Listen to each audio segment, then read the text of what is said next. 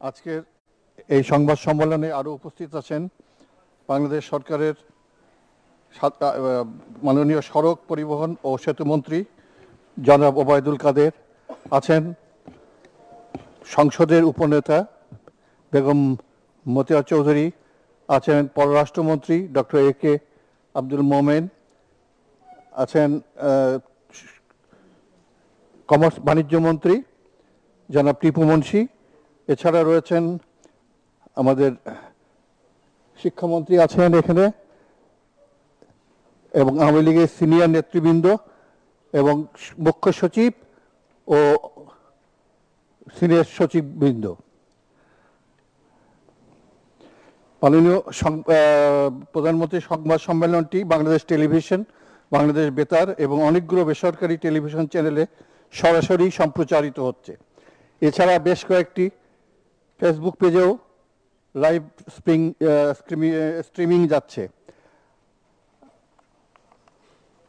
আজকের সংবাদ সম্মেলনের প্রথমে মাননীয় প্রধানমন্ত্রী তার সাম্প্রতিক যে second round of the event LDC পাঁচ কনফারেন্সে যোগদান, চার থেকে আট মার্চ মার্চ পর্যন্ত যে যোগদান করেছিলেন, অংশ নিয়েছিলেন, সে সম্পর্কে তার সূচনা বক্তব্য দেবেন। এরপরে প্রশ্নোত্তর পর্ব শুরু হবে এবং বরাবরের মতো আপনাদের কাছে অনুরোধ থাকল যে একটার বেশি প্রশ্ন করবেন না, এবং প্রশ্ন করার সময়, প্রশ্ন করার সময় আপনাদের নাম পরিচয় এবং সংগঠনের পরিচয় দেবেন। আমি এখন মাননীয় প্রধানমন্ত্রীর কাছে সবিনয় অনুরোধ জানাচ্ছি তার সূ- সূচনা বক্তব্য দেওয়ার জন্য। ধন্যবাদ। বিসমুল্লাহ রহমান রাহিম। উপস্থিত সহকর্মী বৃন্দ এবং সাংবাদিক বৃন্দ সুদী মন্ডলী আসসালামু আলাইকুম, শুভ অপরাহ্ন। কাতারে আমি Sheikh Tamim bin Hamad bin Khalifa Al Thani এবং জাতিসংঘের মহাসচিব আন্তনিও গুতেরেসের আমন্ত্রণে স্বল্পোন্নত দেশসমূহ সংক্রান্ত পঞ্চম জাতিসংঘ সম্মেলন এলডিসি ফাইভ দ্বিতীয় পর্বে যোগ দিতে আমি চার থেকে আটই মার্চ দু দোহা সফর করি। এবারের সম্মেলনের মূল প্রতিপাদ্য ছিল ফ্রম পোটেনশিয়াল টু প্রসপারিটি এর আগে দু এক সালে আমি ব্রাসেলসের তৃতীয় এলডিসি সম্মেলন এবং দু হাজার এগারো সালে ইস্তাম্বুলের চতুর্থ এলডিসি সম্মেলনে যোগ দিয়েছিলাম। জাতিসংঘ এলডিসি সম্মেলনের সর্বোন্নত দেশ হিসেবে।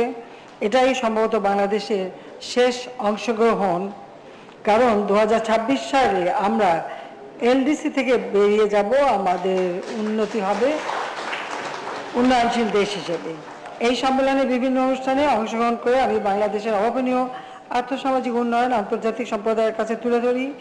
একই সাথে আমি দু হাজার ছাব্বিশ সালে স্বল্পোন্নত দেশের তালিকা থেকে মসৃণ ও টেকসই উত্তরণ নিশ্চিত করতে উন্নয়ন সহযোগীদের কাছে আমাদের বিভিন্ন দাবি ও প্রত্যাশার কথাও উত্থাপন করি।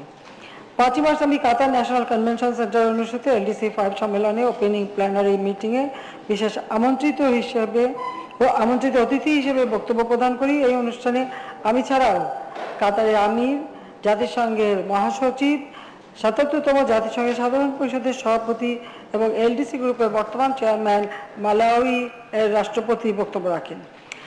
জাতিসংঘের মহাসচিব তাঁর বক্তব্যে বলেন যে, LDC graduation should be rewarded not punished.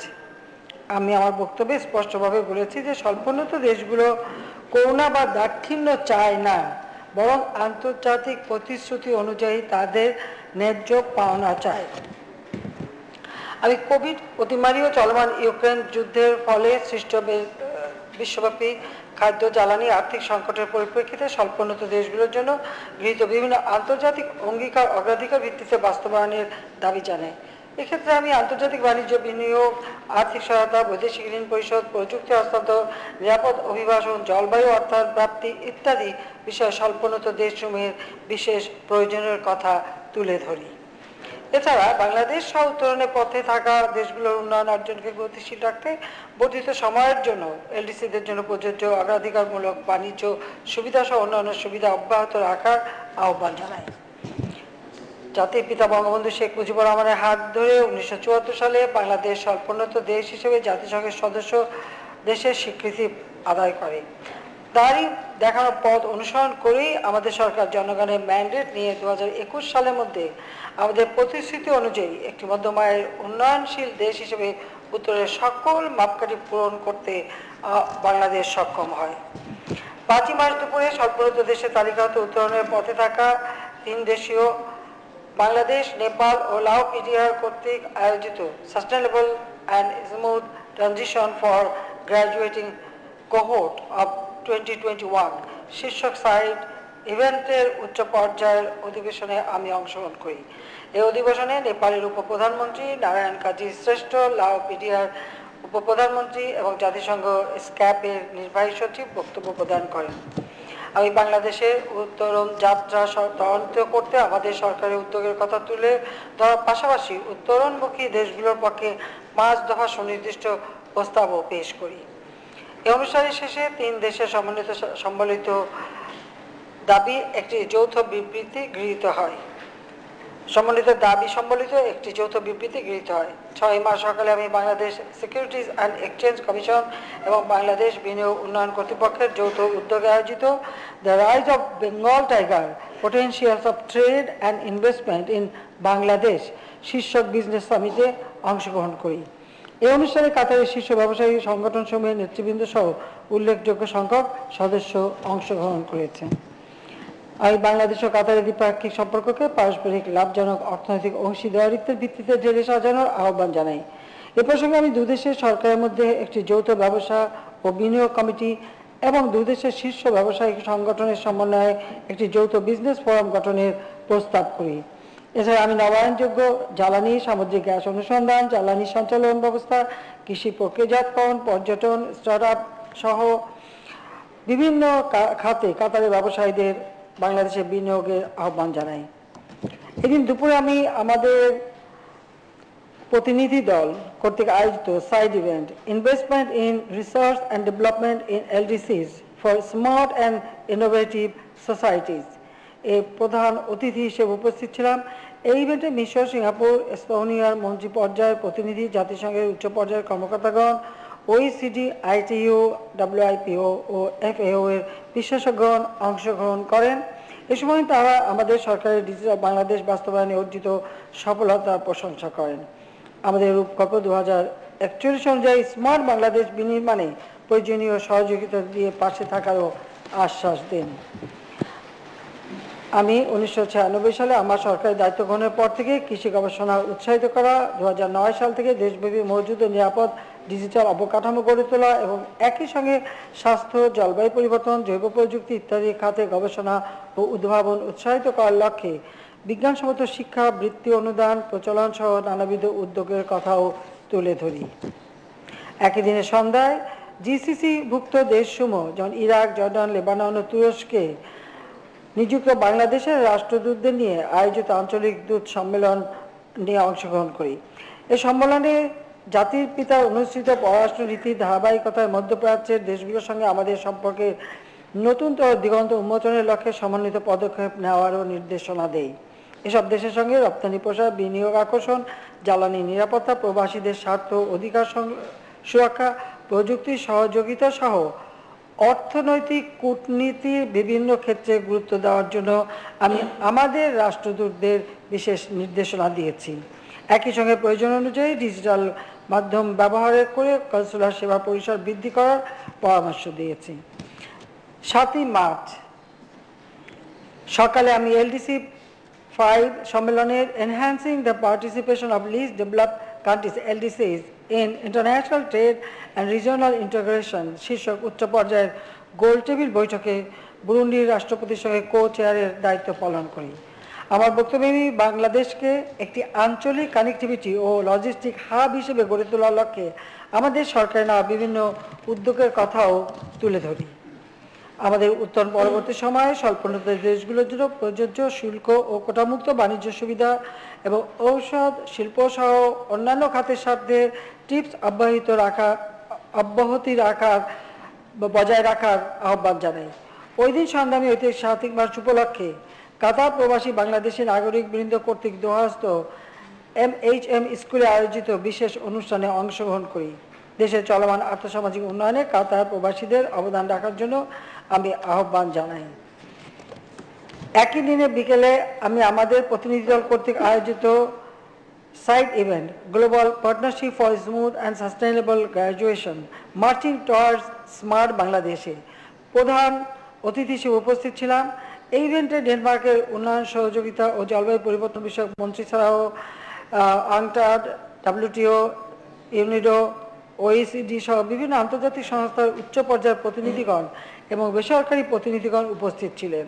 আমি বাণিজ্য, বিনিয়োগ, শিল্পায়ন, যোগাযোগ, অবকাঠামো, ডিজিটাল প্রযুক্তি সহ বিভিন্ন খাতে আমাদের সরকারে নেওয়া বিভিন্ন সুদূর প্রসারী কর্মকাণ্ডের কথা উল্লেখ করি।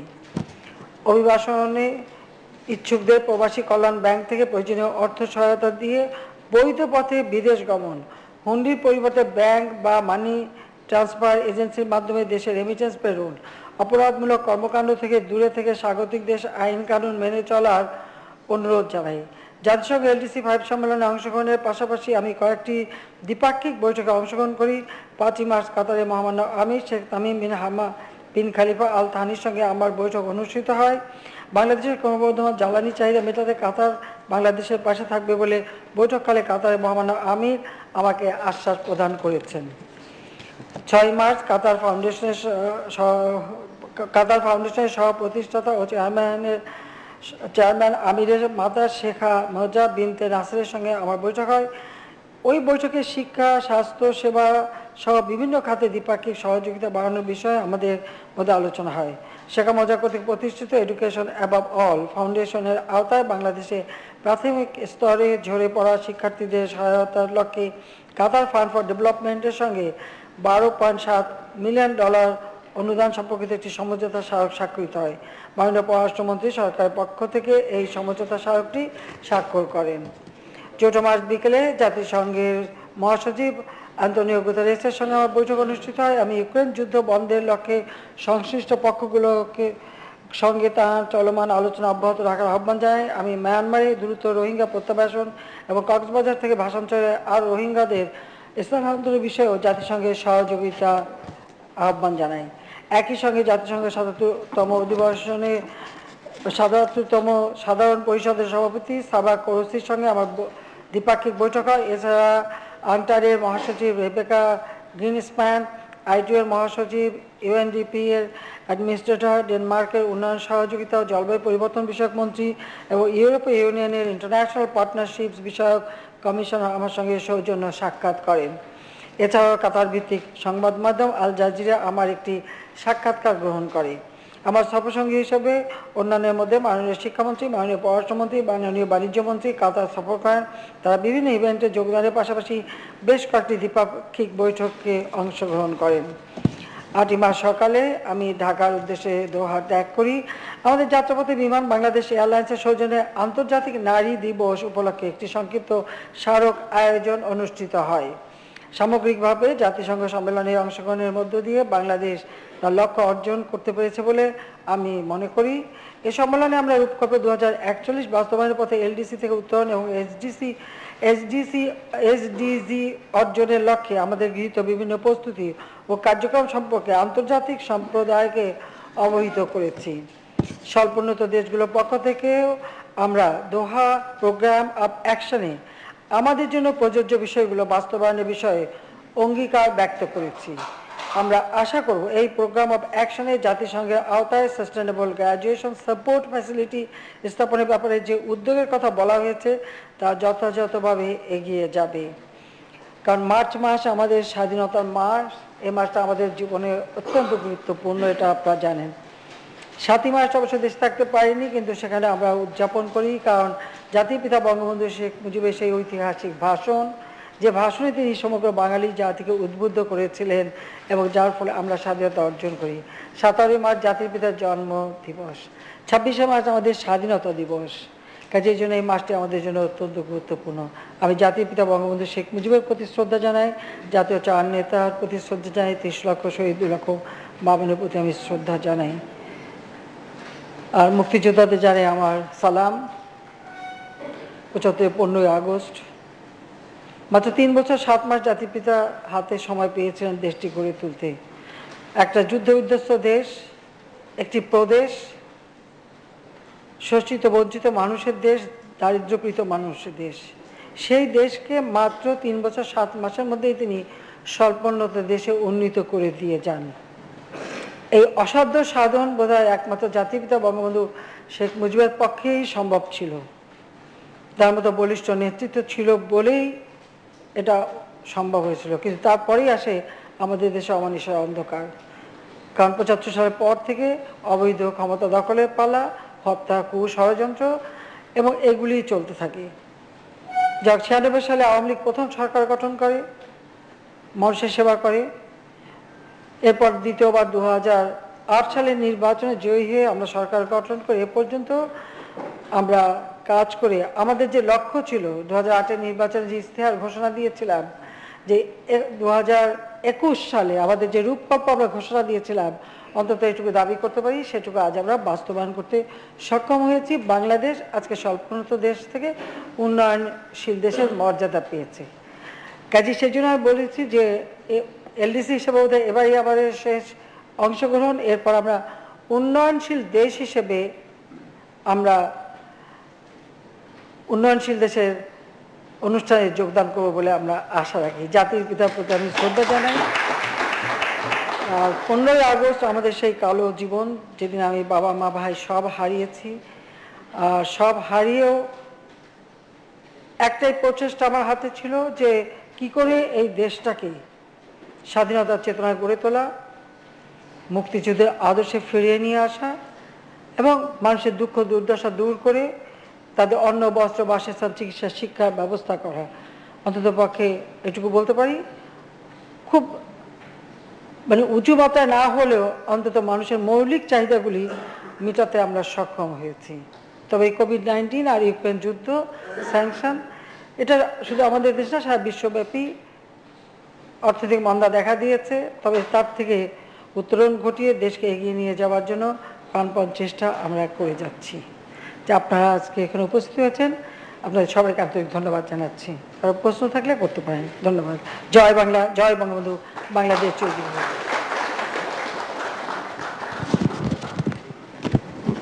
মাননীয় প্রধানমন্ত্রী আপনার যারা সাথে ছিল তারা পরে বলবে না?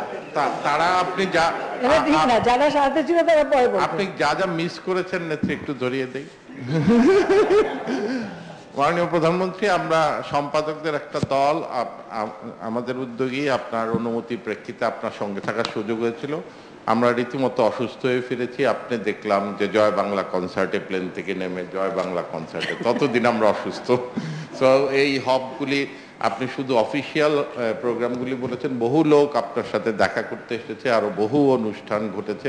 আসলে যেহেতু ছিলাম, এটা না বললেই নয় কাত- কাতার ছিল বাংলাদেশময় এবং গোটা সেশনটা ছিল শেখ হাসিনাময় এবং আপনাকে ঘিরেই আমাদের ইভেন্টগুলি ছাড়াও অন্যান্য যে সাইড ইভেন্টগুলি প্রত্যেকটাতে আপনাকে রেকর্ড দেখাবো, প্রত্যেকটাতেই ঘুরে ঘুরে ঘুরে ঘুরে বাংলাদেশের নাম এসেছে এবং বাংলাদেশ হয়েছে একটা রোল মডেল এবং বিভিন্ন অনুষ্ঠানে আপনি বলেছেন ওইসিডির প্রতিনিধি যিনি আমাদের অনুষ্ঠানে উপস্থিত ছিলেন। আপনি বলতে ভুলে গেছেন যে তিনি বাংলাদেশের স্মার্ট ধারণা থেকে স্মার্ট সোসাইটিকে তাদের ভবিষ্যৎ পরিকল্পনার অংশ হিসাবে গ্রহণ করেছেন। বলেছেন বাংলাদেশের তাদের পরিকল্পনায় ভবিষ্যৎ পরিকল্পনায় স্মার্ট সোসাইটির কনসেপ্টটি তারা গ্রহণ করেছে। এবং অন্যান্য আংটার থেকে শুরু করে ইউএন ডাটা ব্যাংক থেকে শুরু করে যে বাংলাদেশের যে উচ্চ- বাংলাদেশকে ঘিরে যে উচ্ছ্বাস সেটা ওখানে না গেলে আমরা আসলে বুঝতে পারতাম না।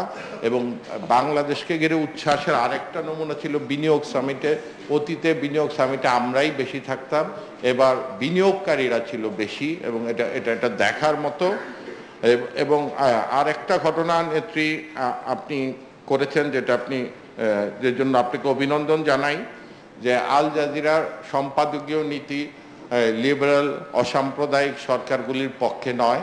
তারা ক্রিটিক্যাল তারপরেও আপনি তাদেরকে সংবা- সংবাদপত্রের স্বাধীনতা এবং গণমাধ্যমের সম্পাদকীয় স্বাধীনতার প্রতি শ্রদ্ধা রেখে তাদেরকে ইন্টারভিউ দিয়েছেন।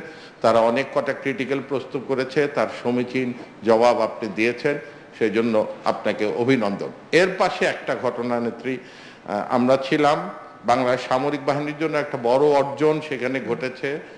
পারস্পরিক সামরিক হ্যাঁ, সামরিক সহযোগিতা চুক্তির অংশ হিসেবে এগারোশো উনত্রিশ জন সেনা কর্মচারী সৈনিক থেকে কর্মকর্তা পর্যন্ত সেখানে ডেপুটেশনে যাওয়ার সুযোগ ঘটবে।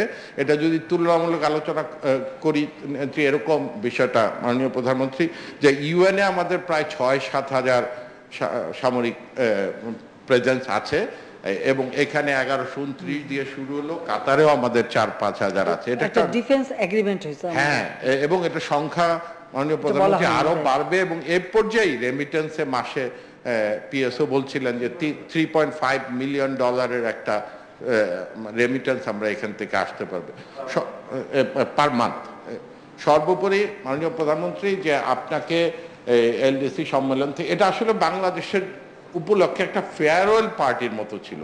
সবাই বলছিল, বাংলাদেশ তো আগামীবার থাকবে না। আমাদেরকে সবাই হাততালি দিয়ে একটা বিদায় দিচ্ছিল যে বাংলাদেশের ফেয়ারওয়েল পার্টি এবং আপনার এই ভিশনারি লিডারশিপের সঙ্গে সঙ্গে আপনাকে ট্রান্সফরমেশনাল লিডার হিসেবে আখ্যায়িত করেছে। আমার প্রশ্নটা, নেত্রী, আমরা বিভিন্ন গণমাধ্যম, দেশীয়, আন্তর্জাতিক সবসময় জানতে চাই, গত পনেরো বছরে অর্থনীতি, জীবনযাপনের মান, শিক্ষা, স্বাস্থ্যে বাংলাদেশের যে ট্রান্সফরমেশন হয়েছে, তার একটা তুলনামূলক চিত্র যদি আমাদের কাছে রেডি রেফারেন্স হিসেবে নেত্রী থাকে, আমরা আন্তর্জাতিক সংস্থাগুলিকে দিতে পারব।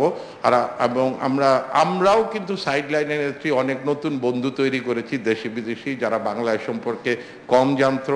আমরা আল জাজিরায় যে ঝগড়া করে এসেছি হেফাজতের ঘটনায় যে তারা মিথ্যা তথ্য দিয়েছিল, তাদেরকে হাতে নাতে দেখিয়ে এসেছি। চৌষট্টি জন, একজনই মরে নাই। ফরজানের উপর সমীকরণ তাদেরকে দেখিয়েছি। প্রত্যেকের বাড়ি বাড়ি যে এবং রানা প্লাজার কবরস্থানকে তারা হেফাজতের কবরস্থান বানিয়েছিল এবং তারা মোটামুটি লজ্জাই পেয়েছে এই ধরনের সাংবাদিকতার জন্য। আপনার কাছে যদি আমাদের উন্নয়নের একটা চিত্র যদি পেতে পারতাম, মাননীয় প্রধানমন্ত্রী, আপনাকে অসংখ্য ধন্যবাদ। একটা একটা তুলনামূলক এ আজকে আমি তৈরি করেছিলাম যে দু ছয় কি ছিল আর এখন আমরা কতটুকু কি করতে হয়েছে অল্প কিছু বিষয়। এটা এটা দেয়নি সবাইকে? এটা একটু দেওয়ার ব্যবস্থা করে দেন না কার কাছে আছে? আমি জানি হয়তো এই জিনিসটা জানতে চাইবেন, সেজন্য মোটামুটি একটা খুব তাৎক্ষণিকভাবে তৈরি করা হচ্ছে যে আর্থ সামাজিক প্রেক্ষাপটের তুলনা বিবরণী দু ছয় থেকে দু ওটা দিয়ে আছে এটা প্রিন্ট করা আছে? আর আমার বিষয়ে আমি তো বেশি কিছু বলতে চাই না। যে সেই এখন রবীন্দ্রনাথের কথা বলতে হয় যে দেখা হয় না এই চক্ষু মেলে একটি ঘাসের শীষে, একটি শিশির বিন্দু।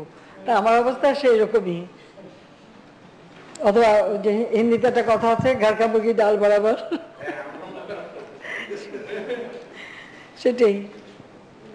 কথা সেটা না, যে চেষ্টা করেছি বাংলাদেশে ভাবভর্তি তুলতে যে বাংলাদেশ একসময় সবাই বাংলাদেশ শুনে মনে করতো একটা দুর্যোগ, দুর্ভিক্ষ, বন্যা খরা, এই দেশ। এখন আর সেটাকে মনে করে না। এখন বাংলাদেশকে রোল মডেল মনে করে। অন্তত এই একটানা দু হাজার নয় সাল থেকে বাইশ সাল পর্যন্ত সরকার পরিচালনা করতে পেরেছি। একটা স্থিতিশীলতা আনতে পেরেছি। এর মধ্যে ঘাত, প্রতিঘাত অগ্নিসন্ত্রাস অনেক কিছু এসছে, অনেক রকমের ঝামেলা মেটাতে হয়েছে। তারপরেও যেহেতু একটা সরকারের থেকে একটা গণতান্ত্রিক ধারা, বাংলাদেশের ইতিহাসে প্রথম একটা গণতান্ত্রিক ধারা অব্যাহত আছে বলেই এই উন্নয়ন করাটা সম্ভব হয়েছে, এটা হলো বাস্তব।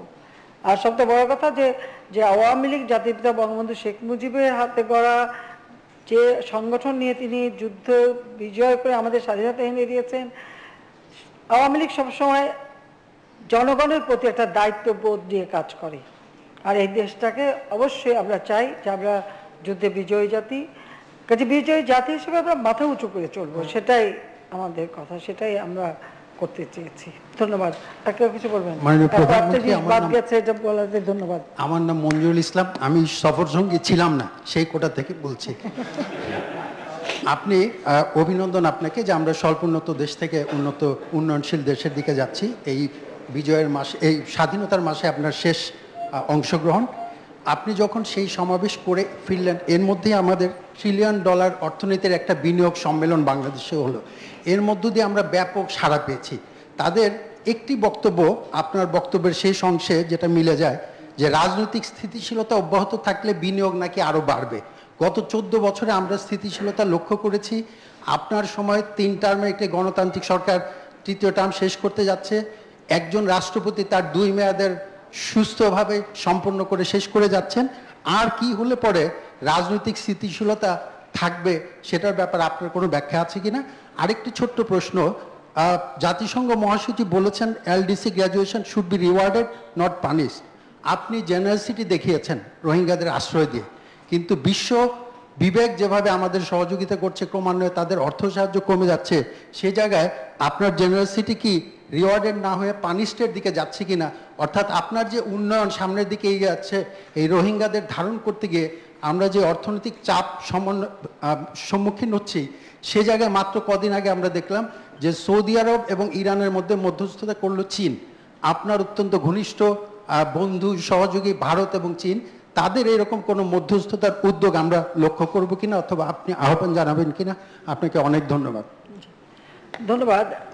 প্রথম কথা হচ্ছে রাজনৈতিক স্থিতিশীলতা থাকলে যে উন্নয়ন হয় সেটা আমরা প্রমাণ করেছি। এবং এর জন্য অনেক ধৈর্যের দরকার।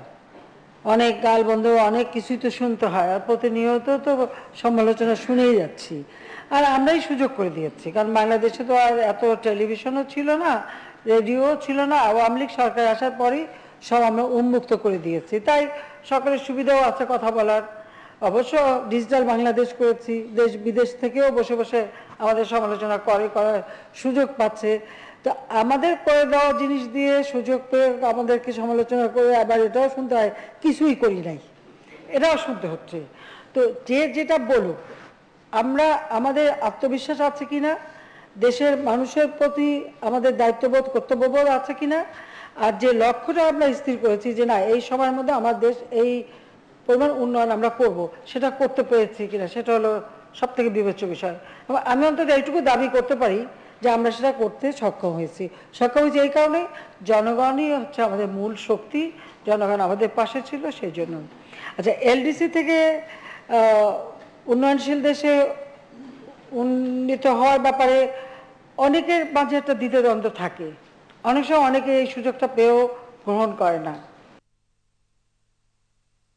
আমাদের মধ্যে যেহেতু কোভিড উনিশ যখন দেখা দিল, তখন একটু দ্বিধাদ্বন্দ্ব অনেকের ছিল যে এটা আমরা করতে পারব কিনা বা এটা আমাদের এখনই গ্রহণ করা সম্ভব কিনা, উচিত কিনা। আমি কিন্তু সেখানে বলছি, না, আমরা পারব। যে যে কারণে জাতিসংঘ একেবারে সাধারণ পরিষদে এটা অনুমোদিত হয়ে গেছে। কাজে আমরা সেই সুযোগটা নিয়েছি। এখন আমাদেরকে এগিয়ে যাওয়ার পালা। আমরা এগিয়ে যাব। এরই মাঝে বিভিন্ন ধরনের ঘটনা ঘটছে, ঘটানোর চেষ্টা করা হচ্ছে। একটা অস্থিতিশীল পরিবেশ সৃষ্টিরও চেষ্টা হচ্ছে। কিন্তু আমি মনে করি, আমি বিশ্বাস করি যে এটা কেউ কিছু করতে পারবে না। হয়তো সাময়িক কিছু একটা সমস্যার সৃষ্টি করতে পারে, কিন্তু সেটা মোকাবেলা করবে আমাদের জনগণই। আর স্থিতিশীল পরিবেশ হ্যাঁ আমাদের সামনে নির্বাচন। অন্তত এইটুকু দাবি করতে পারি যে আমাদের, আমরা যদি সেই পঁচাত্তর সালের পর থেকে যে সমস্ত নির্বাচন এক এক হয়েছে, সেই নির্বাচনের চিত্রগুলি যদি একবার দেখি, আর আমরা সরকার আসার পরে যে নির্বাচনগুলি হচ্ছে, অন্তত সেই ধরনের চুরি বা ভোট দখল করা বা ভোট কারচুপি করা, সেই সুযোগটা তো আর এখন নেই। এখন ছবি সহ ভোটার তালিকা, ওই এক কোটি তেইশ লক্ষ ভুয়া ভোটার দিয়ে বিএনপি ভোটার তালিকা করেছিল। এখন আর সেটা কেউ করতে পারবে না। এখন ছবি সহই ভোটার তালিকা, আইডি কার্ড হয়ে গেছে। স্বচ্ছ ব্যালট বাক্স সিল মারে বাক্স ভরে ফেলে দেবে, সে সুযোগটাও নাই। তারপর ইভিএম করতে চেয়েছিলাম, কারণ সবাই ডিজিটাল পদ্ধতিতে ভোট দেবে, খুব দ্রুত রেজাল্ট পাবে। অনেকেরই আপত্তি। তো যখন সবাই এত আপত্তি, তখন ঠিক আছে, এটা নির্বাচন কমিশনের উপরে যতটুকু তারা পারে করবেন তো করতে পারলে ভালো হতো আমি মনে করি। অন্তত মানুষ তার ভোটের অধিকারটা প্রয়োগ করতে পারতো। একটা আধুনিক পদ্ধতি ব্যবহার করতে পারতো। সেটা নিয়ে যখন এত আলোচনা, সমালোচনা, এটা আমরা আমাদের নির্বাচন কমিশনের উপরে ছেড়ে দিচ্ছি স্থিতিশীলতা, স্থিতিশীলতার জন্য যে দরকার, যে নির্বাচনটা যাতে সুষ্ঠু অবাধ হয়।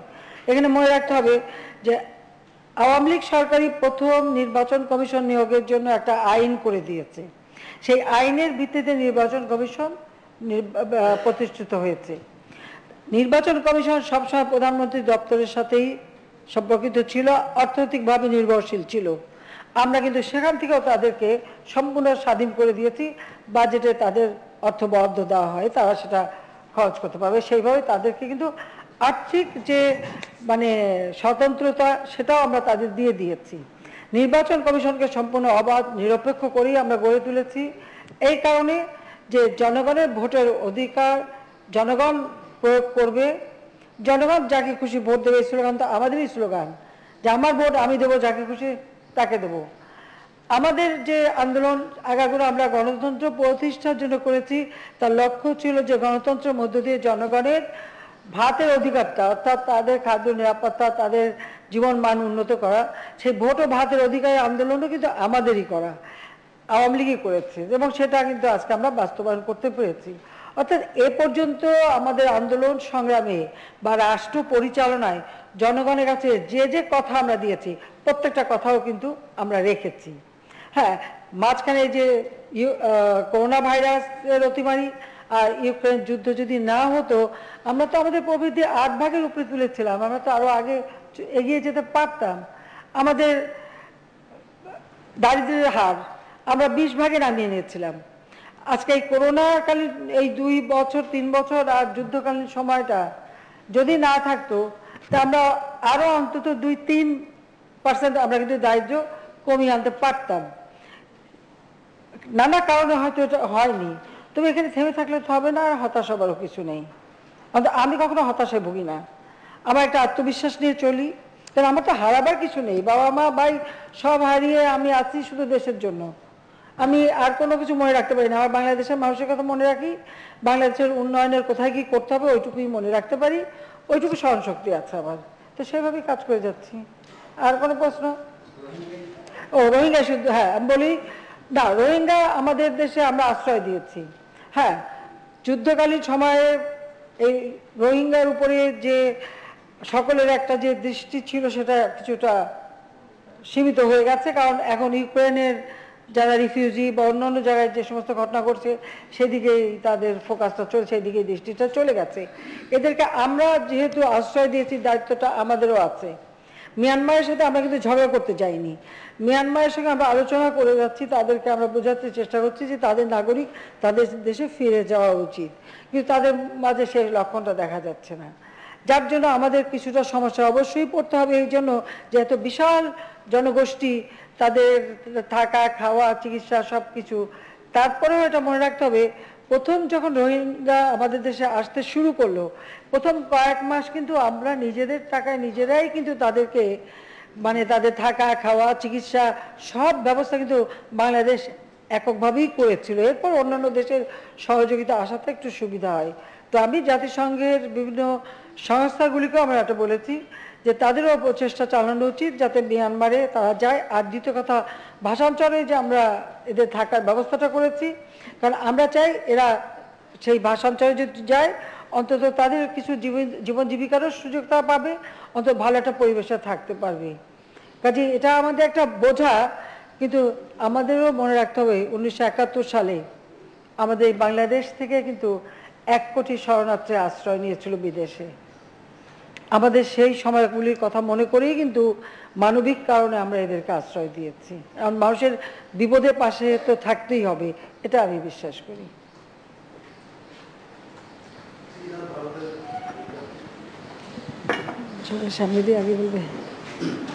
মাননীয় প্রধানমন্ত্রী, আমার নাম ফরিদ হোসেন।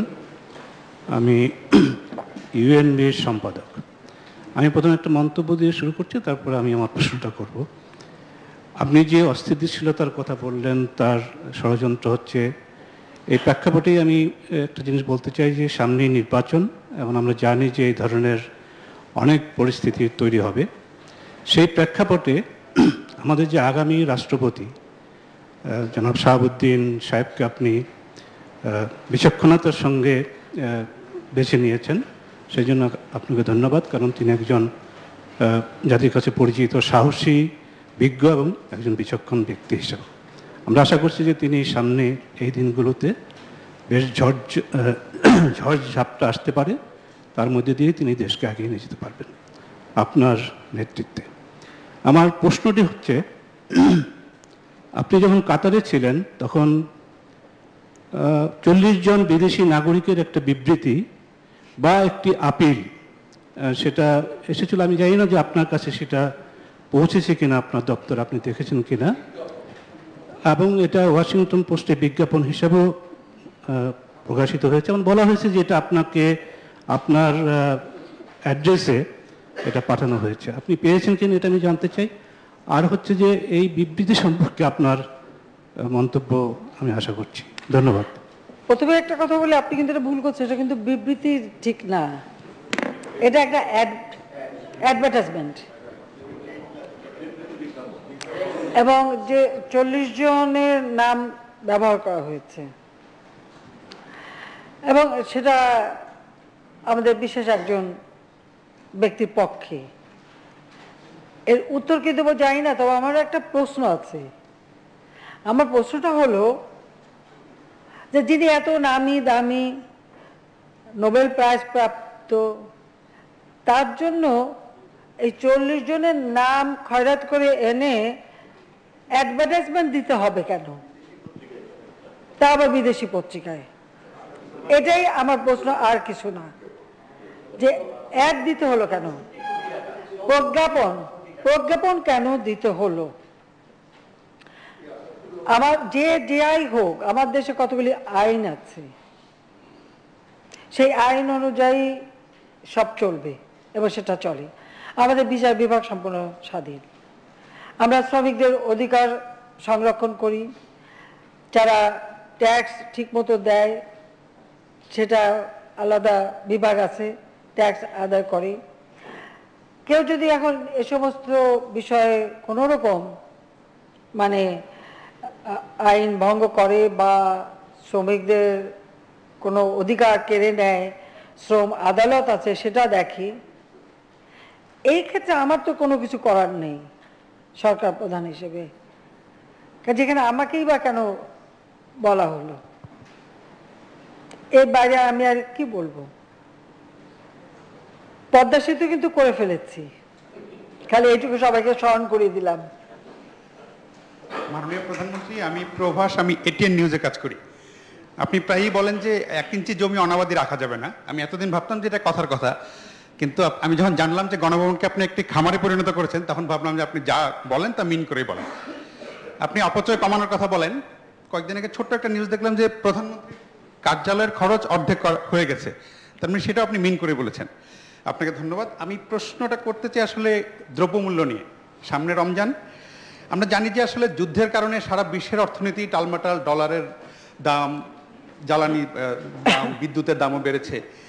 কিন্তু তার এবং আমি জানি যে আপনার নেতৃত্বে আমাদের মঙ্গা অনেক পিছনে ফেলে এসেছি, কিন্তু দ্রব্যমূল্য বেড়ে যাওয়ার কারণে আমাদের পুষ্টিতে একটু টান পড়েছে। মানে মুরগির দাম বেড়ে গেছে, ডিমের দাম বেড়ে গেছে। সামনে রমজান, আমি জানি যে আপনার সরকার অনেক চেষ্টা করছে, কালকেও আমার মুখ্য সচিব অনেক পদক্ষেপের কথা বলেছেন। তবু আপনার কাছ থেকে শুনতে চাই যাতে সাধারণ মানুষ আশ্বস্ত হতে পারে, দ্রব্যমূল্য নিয়ন্ত্রণ এবং রমজানটা আমরা স্বস্তিতে পার করতে পারব কিনা। আপনাকে ধন্যবাদ। দেখুন, রমজান হচ্ছে কৃচ্ছতা সাধনের। তাই না? আমাদের নবী সাল্লাহ সাল্লামও বলেছেন, ও আল্লাহরও নির্দেশ, এই সময় কৃচ্ছতা সাধন করতে হবে। আমাদের সেই কৃচ্ছতা সাধন তো করতেই হবে। পাশাপাশি রমজানের দ্রব্যমূল্য যাতে না বাড়ে, ইতিমধ্যেই আমরা যা যা প্রয়োজনীয় সবই কিন্তু আমরা ক্রয় করে আনছি, তা যত দামি হোক। বিশ্বের প্রত্যেকটা পণ্য মুদ্রাস্ফীতি এখন এত বেশি। যেটা আমি এর আগেও বলেছি, যে এখানে দুশো ডলার দিয়ে যে গম কিনতে হতো, তা কিনতে হচ্ছে ছয়শো ডলার দিয়ে। ভোজ্য তেল, জ্বালানি তেল, চিনি সব কিছুরই কিন্তু দাম বেড়েছে। তারপরেও কিন্তু আমরা সাধ্যমতো আম- আমরা ক্রয় করে সেগুলি নিয়ে আসছি, এমনকি পরিবহন খরচ পর্যন্ত বেড়ে গেছে। আমরা নিয়ে আসছি। আমরা শুধু বাংলাদেশ না, আমরা দেখি সারা বিশ্বব্যাপী মুদ্রাস্ফীতি। আপনারা জানেন অনেক উন্নত দেশ সেখানে কিন্তু সুনির্দিষ্ট করে দেওয়া আছে যে একটা পরিবার থেকে সে তিনটের বেশি টমেটো কিনতে পারবে না বা এক প্যাকেটের বেশি ডিম, হয়তো চারটে প্যাকেট অথবা আটটার প্যাকেট যাই হোক, সেটা কিনতে পারবে না বা এই এক লিটার বা দুই লিটার বেশি তেল কিনতে পারবে না। আমরা কিন্তু এখনও সে পর্যায়ে যাইনি। সেখানে আমি এই জন্য দেশবাসীর কাছে আহ্বান করেছি, আমাদের মাটি আছে, মানুষ আছে। আমি আর আহ্বান এই জন্য যে আমরা আমাদের যত অনাবাদী জমি আবাদ করব, আর সবাইকে আমি বলছি, যার যেখানে জমি আছে নিজে কিছু উৎপাদন করেন, নিজের চাহিদাটা নিজে পূরণ করেন। হ্যাঁ এটা ঠিক, আমি করার আগে আমার নিজের কাজ আমি করে নিয়েছি। কারণ আমার গণভবনে নিশ্চয়ই আপনারা দেখে এসেছেন, কিছুটা সবজি টবজি যা আছে, বা হাঁস মুরগির খামার, এদিকে গরু, ছাগল, মাছ, আমার কিন্তু সবই আছে। কাজে আমরা এটা নিজেরা করি, তারপর সবাইকেই বলি। এমনকি আমার গ্রামের বাড়িতে যত অনাবাদী জমি ছিল, শুধু আমাদের নিজেদের পরিবারের জমি না, একই সাথে আমাদের গ্রামের যাদের জমি, আমি সেগুলিও এখন তো মানে আমরা কৃষি যান্ত্রিকতায় গেছি এসকাভেটার দিয়ে সে সমস্ত জমিগুলি হয়তো তিরিশ বছর ধরে অনাবাদী, সব পরিষ্কার করে দিচ্ছি, সেগুলি আবাদের আওতায় চলে এসেছে। শুধু তাই না, বাংলাদেশের প্রত্যন্ত অঞ্চলে, একবার গ্রাম পর্যায় পর্যন্ত কোন কোন এলাকায় কি কি দুরবস্থা যেগুলো আমার চোখে দেখা, সেখানে আমরা বিশেষ উদ্যোগ নিচ্ছি এবং সেখানে যাতে ফসল ফলে মানুষের অবস্থার জন্য ভালো হয়, আমরা কিন্তু সেই পদক্ষেপটা নিয়েছি। আজকে একটা ঘটনা বলে, আমি এগুলো আবার মাঝে মাঝে তথ্য সংগ্রহ করি। আমাদের যে সমবায় মন্ত্রী, প্রতিমন্ত্রী আছেন, স্বপন কুমার ভট্টাচার্য, তাকে আমি বিভিন্ন জায়গায় পাঠাই। রংপুরের গঙ্গাচড়া নৈহালি বলে একটা ইউনিয়ন। ওই আপনারা জানেন উত্তরবঙ্গে সবসময় মঙ্গা লেগে থাকতো। তো এই মঙ্গা অবস্থায় কিন্তু আমরা গিয়েছি, সেখানে রিলিফ দিয়েছি। তো সেখানে আমার, আপনাদেরও মনে থাকা উচিত যে একবার পত্রিকায় এসেছিল যে সারি সারি কঙ্কালের মতো মানুষ। গায়ে কাপড় নেই মানে হাড় আর চামড়া ছাড়া কিছুই নেই। আমি নিজে সেই নৈহালি গ্রামে যাই, সেখানে রাস্তাঘাটও ছিল না। খুব কষ্ট করে সেখানে আমরা পৌঁছাই। সেখানে সত্যি দেখি যে মনে হচ্ছে জীবন্ত কঙ্কাল ঘুরে বেড়াচ্ছে। তো আমরা আসার পরে এই সমস্ত এলাকাগুলিতে মানুষের খাদ্য চাহিদা পূরণ করা, মানুষের আর্থিক সচ্ছলতা করা, আমরা অনেক কাজ করাচ্ছি। তো সেখানে স্বপন গিয়েছে, আজকে আমাকে রিপোর্ট করল যে না, এখন আর মানুষের মধ্যে সেই অবস্থা নেই, মানুষের পরিবর্তন হয়ে গেছে। তারা সেখানে তরি তরকারি ফলাচ্ছে, ফসল ফলাচ্ছে, তারা অনেকটা ভালো আছে। কারণ আমার খোঁজা কথা এই জন্য যে যেখানে যেখানে আমাদের মানে আমরা একটা উদ্যোগ নিয়েছি, আপনারা জানেন যে প্রত্যেকটা ভূমিহীন মানুষকে আমরা ঘর তৈরি করে দিচ্ছি বিনা পয়সায়, আর ঘরের সাথে সাথে তাদের জীবন জীবিকারও ব্যবস্থা করে দিচ্ছি।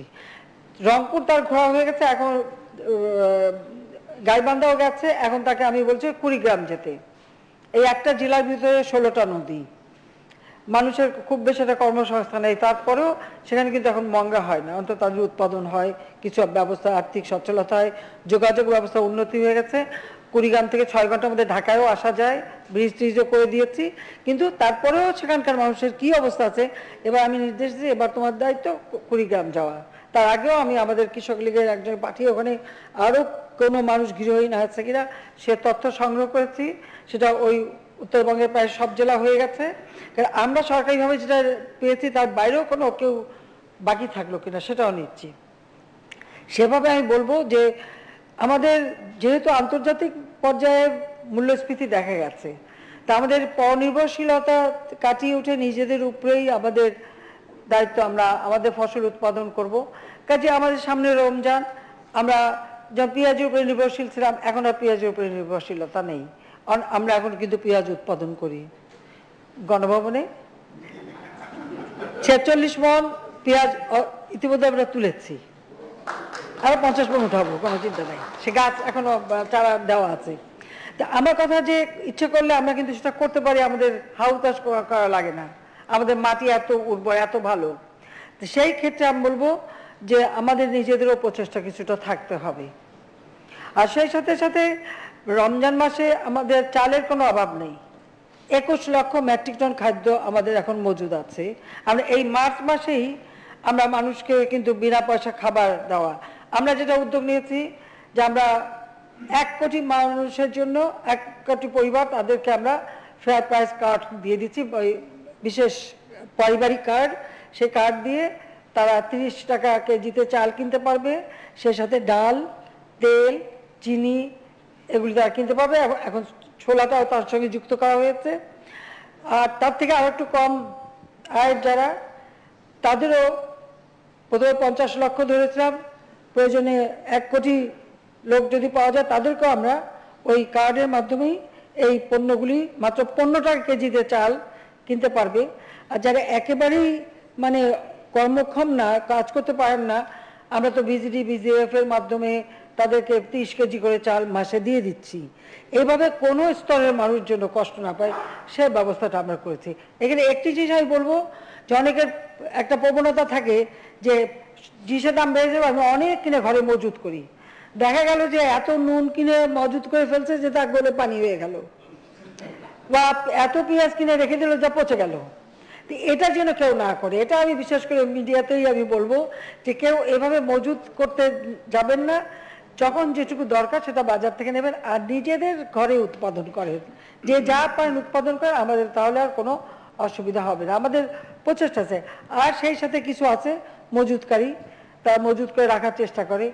আর আমাদের কিছু কিছু বিরোধী দল তো আছেই। সব জায়গাটা ঝামেলা পাকানোর জন্য একটা চেষ্টা, একটা মানে কথায় বাঁচায় কোনো একটা কথা ছড়ালো, মিথ্যা একটা ধোয়া তুললো, এগুলি তো হবে। এখানে বিভ্রান্ত হওয়ার কিছু নেই। অন্তত মানুষের যাতে কোনো কষ্ট না হয় রমজান মাসে, তার জন্য যথাযথ ব্যবস্থা আমরা করছি। আর হ্যাঁ ডিম বা মুরগি, এটা কিন্তু অনেকটা এক একটা, আমাদের কিন্তু ছয়টা ঋতুর দেশ। আমাদের মানে প্রাকৃতিক যে পরিবর্তনটা আসে, সেখানেও কিন্তু কখনো উৎপাদন বাড়ে, কখনো উৎপাদন কমে। এটাও ঠিক। আবার দাম খাদ্যদ্রব্য নিয়ে সমস্যাটা হচ্ছে, আমি খুব বেশি দাম কমাবো, তাহলে যারা উৎপাদনকারী তারা মূল্য পাবে না, তাদের সমস্যা। আবার দাম বাড়লে যারা নির্দিষ্ট আয়ের তাদের জন্য সমস্যা। সেই ক্ষেত্রে সকলকে যদি একটু মানে সমঝোতা করে চলতে পারে, তাহলে আমার মনে হয় কোনো খুব একটা কষ্ট হবে না। আর দেখুন, এক সময় শুধু খাদ্যের চিন্তাই ছিল, এখন কিন্তু আমিষের ব্যবস্থাটাও আমরা করেছি। আমাদের ডিম উৎপাদন, দুধ উৎপাদন, মাংস উৎপাদন, মাছ উৎপাদন, আমাদের কিন্তু সব কিছু বেড়েছে তরি, তরকারি ফল মূল যে সমস্ত জিনিস কবে শীতকাল আসবে, একটু সিম খাব, একটু ফুলকপি খাব, পাতাকপি খাব, গাজর খাব, এখন কিন্তু তা নাই। এখন বারো মাস খেতে পারেন। অন্তত আমাদের কৃষি বিজ্ঞানীরা গবেষণার মাধ্যমে এখন বারো মাসে এগুলি উৎপাদন করা, করতে পারে। সেই গরমকালে টমেটোও পাওয়া যাচ্ছে, সবই পাওয়া যাচ্ছে। হ্যাঁ মাঝে মাঝে এটা যেটা একটা মানে সিজনে হয়, হয়তো অফ সিজন হলে দামের একটু তারতম্য হতে পারে, কিন্তু হচ্ছে কিন্তু। আমরা করছি, কোনো কিছু আমরা বাদ দিচ্ছি না। এখন বিভিন্ন জায়গায় আমি গেলাম, কিশোরগঞ্জে, প্রচুর ভুট্টা চাষ। শুধু ধানই এখন চাষ হচ্ছে না, এখন সেখানে মানুষ ভুট্টাও চাষ করছে। এই- এই রংপুর এলাকায়ও এখানে ভুট্টা চাষ করছে তারা, মিষ্টি কুমড়া, লাউ, সব চাষ করছে, প্রচুর। কাজে খাদ্য আর খাদ্য অভ্যাসটাও আমাদের একটু সুষম খাদ্যটা খেতে হবে। আমরা ভাত বেশি খাই, ডায়াবেটিসে ভুগি। তা আমরা যদি ভাত, সব- সবজি, শাকসবজি বেশি করে একটু ব্যালেন্স করে খাই, তাহলে কিন্তু ডায়াবেটিসের কষ্টটাও চলে যায়। রাস্তাঘাট হয়ে গেছে, হাঁটা লাগে না। এখন রিক্সা ভ্যানে চড়ি। সেটাও আবার একটা লক্ষণ। সেটাও আবার ডায়াবেটিসে, কারণ যেটা খাচ্ছি সেটা তো আর যাচ্ছে না। সেই জন্য সেটাও একটা সমস্যা। আমি এটা না জেনে বলছি না, আমার গ্রামের মেয়েদের জিজ্ঞেস করেছি। বলছে, এখন তো কোনো কাজ নাই। আগে রাস্তা ছিল না, হাঁটতে পারতাম না, এখন ভ্যানে চড়ি। তারপর আগে ধান বানতে হতো, পানি আনতে হতো, উঠোন লাগে এখন সেগুলি কিছু করা লাগে না, সব মেশিনে হয়ে যায়। তা আমরা আর কি করব? আর আপনি এখন এত খাবার দিচ্ছেন, আমরা পেট ভরে খাই। আমার পেট ভরে খাবার মোটা হওয়া বা ডায়াবেটিসে ভুগবাটা হলো নাকি? একটু কাজও করতে হবে, খাটতে হবে। সবাইকে আমি বলব একটু সুষম খাদ্য নেওয়া, বেশি করে শাক সবজি খাওয়া। আর এগুলি তো উৎপাদন করার কোনো নাই। নিজেরা যেখানে একটা টবে একটা কাঁচামরিচ লাগালেও তো খাবার সময় তাজা কাঁচামরিচটা ভাতের সাথে ভালোই লাগবে, খারাপ লাগবে না। আর লেবু গাছ লাগালেও হচ্ছে লেবুটাও খাওয়া যাবে টমেটো আমার আমার ছাদে তো খুব সুন্দর যে চেরি টমেটো হয়। আজকে আমি এতগুলি চেরি টমেটো তুলেছি। এবং আমার সকালে নাস্তার সাথে আমি ওই অনেকগুলি টমেটোই খেলাম। টমেটো আর একটু পনির দিয়ে খেয়ে নিলাম অনেকখানি। কাজে এই খাওয়ার অভ্যাসটা আমাদের আস্তে আস্তে একটু বদলানো উচিত। কারণ টমেটোতে এত ভিটামিন সি আছে, যেটা অন্য কিছু একটা কমলা লেবুতেও নাই। তো সবাই অভ্যাসটাও বদলানো দরকার। তো আমি আশা করি কোনো অসুবিধা হবে না। কারণ কেউ যদি মজুত করে পচিয়ে ফেলে, তখন তো আমার কিছু করার থাকবে না। সেটা জনগণকে সজাগ থাকতে হবে, দেখতে হবে, আর সাংবাদিকদেরও দৃষ্টিটা রাখতে হবে যে কেউ এরকম কিছু করে কিনা। কারণ সাংবাদিকরা যখন এত কিছু দেখতে পারে, এগুলিও দেখবেন একটু আপনারা। সবাই সহযোগিতা করলে বাংলাদেশ, আমরা কোনো অসুবিধা পড়ব না ইনশাল্লাহ জাতির পিতা বলেছিলেন যে আমার মাটি আছে মানুষ আছে এই মাটি মানুষ দিয়েই বাংলাদেশ গড়ে তুলবো। তিনি কিন্তু সেটা করেছিলেন মাত্র সাড়ে তিন বছরের মধ্যে। সেটাই করে গিয়েছিলেন। নইলে ওরকম একটা যুদ্ধ বিধ্বস্ত দেশকে মানে এত অল্প সময়ে স্বল্পন্ত দেশে উন্নীত করা এটা সহজ কাজ ছিল না। ধন্যবাদ। আর কি আর কারও পিছন থেকে কোনো প্রশ্ন আসলো না? প্রধানমন্ত্রী- মহিলা কোনো প্রশ্ন করল না? এটা কেমন কথা হলো? মাননীয় প্রধানমন্ত্রী আমার নাম মাসুদা ভাট্টি আমি দৈনিক আমাদের অর্থনীতিতে কাজ করি। আপনি দু হাজার আট সালের যে বিশ্ব মন্দা, এটা খুব ভালোভাবে, সফলভাবে সামাল দিয়েছেন। এবং দুহাজার আট সালের বিশ্ব মন্দায় আজকাল আমেরিকান ব্যাংক পড়ে যাচ্ছে। আপনি এখন যে বৈশ্বিক অর্থনীতি দুরবস্থা, সেটাও মোকাবেলার চেষ্টা করছেন। আমরা জানি উনিশশো বাহাত্তর সালে বাংলাদেশ দুশোতম অর্থনীতির দেশ ছিল। আপনার হাতে এসে চৌত্রিশতম অর্থনীতি হয়েছে। আমার দুটো প্রশ্ন। প্রথম প্রশ্ন হচ্ছে, আপনার পরবর্তী সরকার আপনি কোন টার্গেট সেট করছেন, কোথায় নিয়ে যাচ্ছেন, যেতে চাচ্ছেন অর্থনীতিকে, কত নাম্বারে আর দ্বিতীয় প্রশ্ন হচ্ছে, আমরা জানি যে ওয়েস্টমিনিস্টার টাইপ গণতন্ত্র যেখানেই আছে, সেখানে একটি শ্যাডো সরকার থাকে এবং তারাও জনগণের জন্য কাজ করে। বিভিন্ন দেশে যায় মানে অর্থ নিয়ে আসার জন্য বিভিন্ন দেশে যায় সেমিনার করে বাংলাদেশ মানে দেশের জন্য। আপনার বা আমাদের সৌভাগ্য সেরকম কিছু হয় না।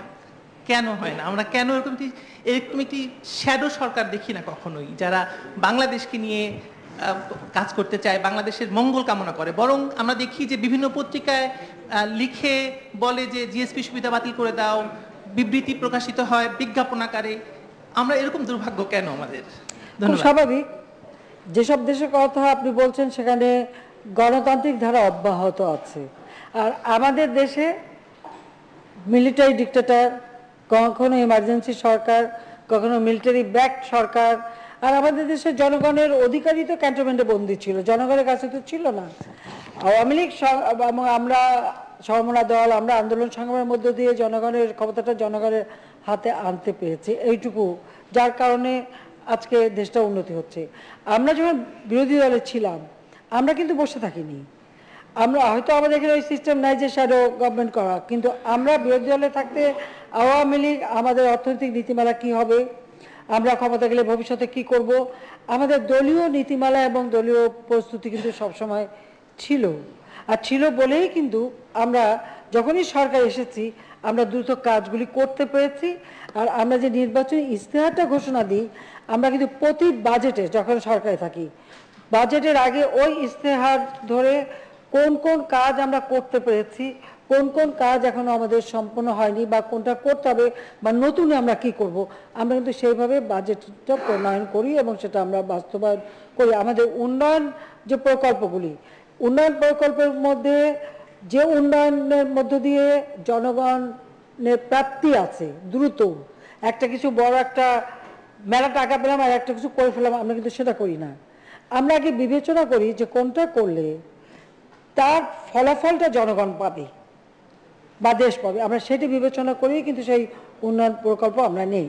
আমরা যখন দু হাজার আটের নির্বাচনে বলেছিলাম, রূপকল্প দু হাজার একুশ।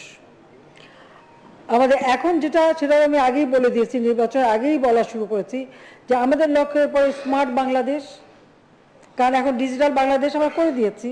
আর সারা বাংলাদেশেই তো ওয়াইফাই আছে, ব্রডব্যান্ড আছে, বঙ্গবন্ধু স্যাটেলাইট এক আমরা উৎক্ষেপণ করেছি। সবই আমরা আমরা যেহেতু করে দিয়েছি, এখন আবার সকলের হাতে মোবাইল ফোন এবং যে কোনো তথ্য নিতে পারে, সবাই সেভাবে স্বাস্থ্য খাতেও আমরা কিন্তু এই ডিজিটাল সিস্টেম ব্যবহার করছি। আর ডিজিটাল সিস্টেমে আমাদের ট্রেনিংয়েরও ব্যবস্থা সারা বাংলাদেশে আমরা করে দিচ্ছি। ভোকেশনাল ট্রেনিংয়ের ব্যবস্থা করে দিচ্ছি, কারিগরি ট্রেনিংয়ের ব্যবস্থা করে দিচ্ছি। যে সমস্ত বিশ্ববিদ্যালয়, বহুমুখী বিশ্ববিদ্যালয়, বিভিন্ন বিষয়ভিত্তিক বিশ্ববিদ্যালয় করে দিয়ে আমরা কিন্তু আমাদের দক্ষ জনশক্তি তৈরি করছি তৈরি করছি। এই কারণে যে আমরা একচল্লিশ সালের মধ্যে বাংলাদেশকে স্মার্ট বাংলাদেশ করব। স্মার্ট বাংলাদেশ করতে গেলে সবার আগে দরকার আমার স্মার্ট জনগোষ্ঠী, দক্ষ জনগোষ্ঠী। সেটার প্রস্তুতি এখনই আমরা নিয়েছি এবং সেভাবে আমরা ট্রেনিং দিচ্ছি। পাশাপাশি আমাদের অর্থনৈতিক ক্ষেত্রে, আমাদের কৃষি ক্ষেত্রে, আমাদের স্বাস্থ্য ক্ষেত্রে, সর্বক্ষেত্রেই আমরা এই ডিজিটাল সিস্টেম ব্যবহারের মধ্য দিয়েই আমরা দেশকে এগিয়ে নিয়ে যাব। আজকে আজকে নিশ্চয়ই আর ওই টেন্ডার বাক্স চিন্তায় কেউ শোনে না। আগে যেমন টেন্ডার বাক্স চিন্তাই হতো, এখন তো হয় না। কারণ এখন সব অনলাইনেই টেন্ডার অনলাইনে সব কিছু পেমেন্ট থেকে সবই আমরা করে দিচ্ছি। ঠিক এইভাবে আমাদের পরবর্তী লক্ষ্য দু হাজার একচল্লিশ সাল এবং সেই প্রেক্ষিত পরিকল্পনা করে দিয়েছি দু হাজার একুশ থেকে একচল্লিশ। তারই ভিত্তিতে আমরা কিন্তু আমাদের পঞ্চবার্ষিকী পরিকল্পনা প্রণয়ন করা আবার সেই সাথে জাতিসংঘের এসডিজি সেটার ক্ষেত্রেও কিন্তু আমরা খুব মানে বলতে পারি যে যেসব বিষয়গুলি আমাদের দেশের জন্য প্রযোজ্য, সেগুলি কিন্তু আমরা বাস্তবায়নে যথেষ্ট অগ্রগতি সাধন করতে পেরেছি। কাজে সে, আমরা কিন্তু প্রত্যেকটা কাজ একটা সুনির্দিষ্ট লক্ষ্য স্থির করেই করি। কাজে সেই লক্ষ্যটা আমরা ইতিমধ্যে দিয়ে দিয়েছি। এটাই আমরা নির্বাচনী স্থানেই ঘোষণা দেব যে পরবর্তী হচ্ছে স্মার্ট বাংলাদেশ আর স্মার্ট বাংলাদেশ করার জন্য কী কী করণীয়? সেটা হয়তো আমরা করিয়ে দিয়েছি। এটা সময়ে সময়ে পরিবর্তনশীল কাজে পরিবর্তন হবে পরিবর্তন হবে, সংশোধন হবে। যেটা যখন যেরকম প্রয়োজন সেভাবে করা হবে। কিন্তু সেভাবে বাংলাদেশ এগিয়ে যাবে। আবার এখানে থেমে থাকিনি দু হাজার একশো সালের বাংলাদেশ ডেল্টা প্ল্যান সেটাও কিন্তু করে দিয়েছি। সেই প্ল্যানটা করে দিয়েছি এই কারণে যে এক, এটা একটা বদ্বীপ। জলবায়ুর অভিঘাতে সবসময় ক্ষতিগ্রস্ত হওয়ার সম্ভাবনা থাকে। যদিও আমরা যে সমস্ত উদ্যোগ নিয়েছি, তাতে বাংলাদেশের খুব ক্ষতি হবে না, কারণ এটা নিশ্চয়ই লক্ষ্য করেছে অনেকগুলি দ্বীপ ইতিমধ্যেই আমরা বিভিন্ন কাজে লাগিয়েছি, সেগুলি উন্নতি করেছি। আমরা আমাদের উপকূলীয় অঞ্চলে যাদের ঘরবাড়ি করে দিচ্ছি, সেগুলি সাইক্লোন মানে সহনশীল ঘর আমরা করে দিচ্ছি। বন্যা যেখানে হচ্ছে, আমরা যেমন সেখানে, ওদিকে সাইক্লোন শেল্টার, এখানে বন্যার জন্য কিন্তু আমরা আলাদা শেল্টার করে, সেখানেও আমরা সেই বন্যাপ্রবণ এলাকা বা নদী ভাঙন এলাকা, সেই এলাকার ঘরগুলি এমনভাবে করে দেওয়া হচ্ছে যে ওরকম নদী ভাঙার সম্ভাবনা দেখলেই তার জন্য খুব তার দ্রুত ঘরগুলি খুলে সরিয়ে নিয়ে যেতে পারে। সেই ডিজাইন করে সেইভাবে ঘরগুলি করে দিচ্ছি। প্রত্যেকটা কাজ কিন্তু আমরা এইভাবে করে যাচ্ছি। পাশাপাশি নদীগুলি ড্রেজিং করা, নদীর নাব্যতা এবং ধারণ ক্ষমতা বাড়ানো, সেই সাথে নৌ চলাচলের পথ, তা এছাড়া উন্নয়নের ক্ষেত্রে নৌপথ, সড়কপথ বিমান সবই তো আমরা উন্নতি করে দিচ্ছি। নইলে একই দিনে শত সেতু উদ্বোধন, একই দিনে শত সড়ক উদ্বোধন কোনোদিন কেউ করতে পেরেছে? কেউ করতে পারেনি। মেট্রো রেল, টানেল, এখন তো পাতাল রেলেরও যুগ আসবে। পদ্মা সেতুর কথা আগেই বললাম যে পদ্মা সেতু, শুধু পদ্মা সেতু করে, এখন সমগ্র বাংলাদেশ কিন্তু একটা যোগাযোগ নেটওয়ার্কে চলে এসেছে। একটা হচ্ছে আইসিটি ডিজিটাল ডিভাইস ব্যবহার করে তথ্য প্রযুক্তির মাধ্যমে অপরদিকে সড়ক, রেল রেল আমরা যথেষ্ট সম্প্রসারণ করে দিচ্ছি। কারণ সব থেকে অল্প খরচে রেল চলতে পারে। আমাদের আট হাজার পোস্ট অফিসকে আমরা ডিজিটাল সেন্টার করে দিয়েছি। তাছাড়া এর আগে তো পাঁচ হাজার দুশো পঁচাত্তরটা আমরা ডিজিটাল সেন্টার করে দিয়েছিলাম। এখন প্রত্যেকটা উপজেলা প্রত্যেকটি জেলা, সব জায়গায় কিন্তু ডিজিটালি সংযোগ হয়। এই যে আমি বিদেশে এসেছিলাম, আমার ফাইল ফোনের মধ্যে হোয়াটসঅ্যাপে চলে আসছে, আমি সই করে ফেরত পাঠিয়ে দিয়েছি। কোনো সমস্যা নাই। ওখানেই ওইটুকুইতে কাজ হয়ে গেছে। কাজে এই যে মানে কাজটা কত সহজ, আজকে একটা প্রযুক্তি ব্যবহারের মধ্য দিয়ে বাংলাদেশকে এগিয়ে নিয়ে যাওয়া। কিন্তু আমার প্রযুক্তিতে উন্নত স্মার্ট বাংলাদেশ করব, সেটাই আমার পরবর্তী লক্ষ্য। সেই ক্ষেত্রে আমাদের যুব সমাজই এগিয়ে আসতে হবে। আমাদের ফ্রিল্যান্সার প্রায় কত পাঁচ লক্ষের উপরে পাঁচ ছয় লক্ষ ফ্রিল্যান্সারই আছে। আমরা যে প্রথম শুরু করেছিলাম লার্নিং অ্যান্ড আর্নিং এখন সেখানে ইউনিয়নে বসেও বিদেশে অর্থ কামাই করছে বিদেশ থেকে বৈদেশিক মুদ্রা অর্জন করছে বা দেশে কাজ করতে পারছে ঘরে বসে অনেকে কাজ করতে পারছে ফ্রিলান্সিং এবং তাদেরকে আমরা স্বীকৃতি দেওয়া সার্টিফিকেট দেওয়া রেজিস্ট্রেশনের ব্যবস্থা, সেটাও করে দিয়েছি। কারণ একসময় দেখা যেত ফ্রিল্যান্সার সেটা আবার কি? ফ্রিল্যান্সার ওটা আবার কি? কি কামাই করে? বিয়ের বাজারেও মূল্য ছিল না ছেলেদের বা মেয়েদের, যে এটা একটা এটা একটা চাকরি হলো নাকি? এমনকি আবার কেউ ছেলে মেয়ে ভর্তি করতে গেছে স্কুলে। কারণ না, আপনি পয়সা দেবেন কীভাবে? সে বলে, আমি না, আমি দুই, তিন লাখ টাকা মাসে কামাই করি ফ্রিল্যান্সার ওই ফ্রিল্যান্সার টাচার দেওয়া হবে না, আপনি টাকা দেবেন থেকে আমার কাছে এই তথ্যগুলি আসে। তারপরে আমি আমি আসলে আমার ছেলে জয়কে বললাম জয়ভাবে হবে না? এদেরকে একটা, অন্তত একটা আইডেন্টিটি দিতে হবে, একটা সার্টিফিকেট দিতে হবে, যে না, এটাও তাদের একটা জব তারা কাজ করে। এ তারপর আমরা তাদের জন্য এখন সার্টিফিকেটের ব্যবস্থা আছে প্লাস তারা টাকা টাকা পাঠালে আমাদের তো আবার কিছু কিছু জিনিস আছে। কোন ব্যাংকে টাকা আসলো তো বলে হ্যাঁ এই বিদেশি লোক আপনাকে কেন টাকা দিল? এত ডলার কেন দিল? হাজার প্রশ্ন। সেটাও আমরা এখন সহজ করে দিয়েছি। যেখানে ওসব প্রশ্নরা সেটা অর্থ উপার্জন করে নিয়ে আসছে। অ্যাপ নর্মাল কোনো অ্যামাউন্ট হলে সেটা ধরা হবে কিন্তু একটা লিমিট তো থাকবে। সেগুলো কিন্তু সহজ করে দেওয়া হয়েছে। এখন প্রত্যেকটা ক্ষেত্রেই কিন্তু এগুলি দেখে দেখে আমরা কাজ করে দিয়েছি। কত কাজ করেছি অত বলে শেষ করতে পারব না, আপনি নিজেরাই খুঁজে পান না, তা আমি কি বলব? আর যারা বলা, তা তো বলতেই থাকবে। আমাদের মানে এখন শ্যাডো গভর্নমেন্ট সেটা কে করবে? যে দল বেশি লাভ হয় সে দলের দুই নেতাই হচ্ছে সাজাপ্রাপ্ত আসামি। তা সাজাপ্রাপ্ত আসামিরা না পারবে ইলেকশন করতে, না পারবে ক্ষমতায় আসতে। তা বিএনপি তো তার নিজের নিজের গঠনতন্ত্র নিজে ভঙ্গ করছে। কারণ তার গঠনতন্ত্রের আছে যে সাজাপ্রাপ্ত আসামি, দলের নেতা হতে পারে না। সেই সাজাপ্রাপ্ত আসামিকেই দলের নেতা বানিয়ে রেখে দিয়েছে। এই দলের কাছে কি আশা করবেন? দু হাজার নির্বাচন, তিনশো সিটের মধ্যে তারা পেলে প্রথমে উনত্রিশটা সিট, পরে বোধহয় বাই ইলেকশনে একটা, তিরিশটা, বিশ দলীয় জোট, বিএনপির নেতৃত্বে তারা পেয়েছে বিশ দলীয় জোট পেল তিরিশটা সিট, আর দুইশো সত্তরটা পেলাম আমরা মহাজোট। মানে সব মিলে জাতীয় পার্টির সব মিলেই দুশো সত্তরটা। তো তার- দু হাজার আটের নির্বাচন, যেটা সব থেকে অবাধ নিরপেক্ষ নির্বাচন, সেই নির্বাচনেই যখন তাদের ওই দুরবস্থা। এখন তো আমরা অন্তত কাজ করে মানুষের ভিতরে মানুষের আস্থা তো অর্জন করতে পেরেছি। যেমন আজকে আমি বগুড়ার খবর নিলাম। বগুড়ারও গ্রামে গঞ্জে কিন্তু আমাদের সরকারের প্রতি একটা আস্থার সৃষ্টি হয়েছে।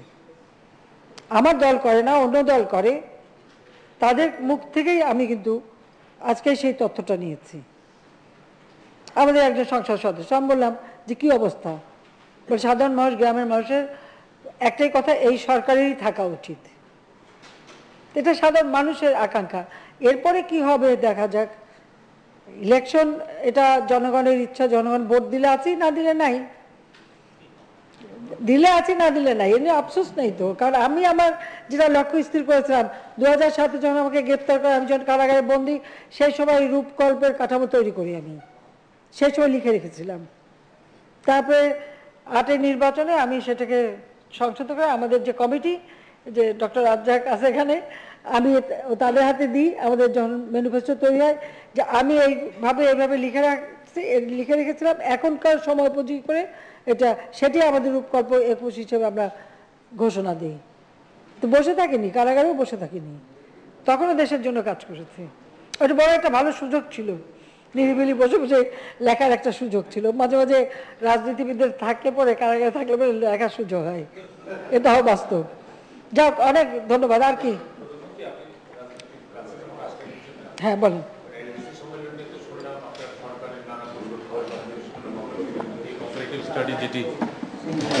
সেটা খুবই চমৎকার। আমাদের জন্য খুব কাজে লাগবে। লেখা এবং টকশোতে আমরা যারা কথা বলি। আমি রাজনীতির মাথায় চলে আসি। আপনি তো সরকার প্রধান মাননীয় প্রধানমন্ত্রী ব্যাখ্যা দিয়েছেন। দুইটি আপনি তো রাজনীতিতে নানা চমক দেখান সবশেষ মহা- মহা- মহামান্য রাষ্ট্রপতিকে নিয়োগ দিয়ে একটা বড় চমক দেখিয়েছেন। আমার মনে হয় না বাংলাদেশে কেউ এটা প্রেডিক্ট করতে পেরেছে।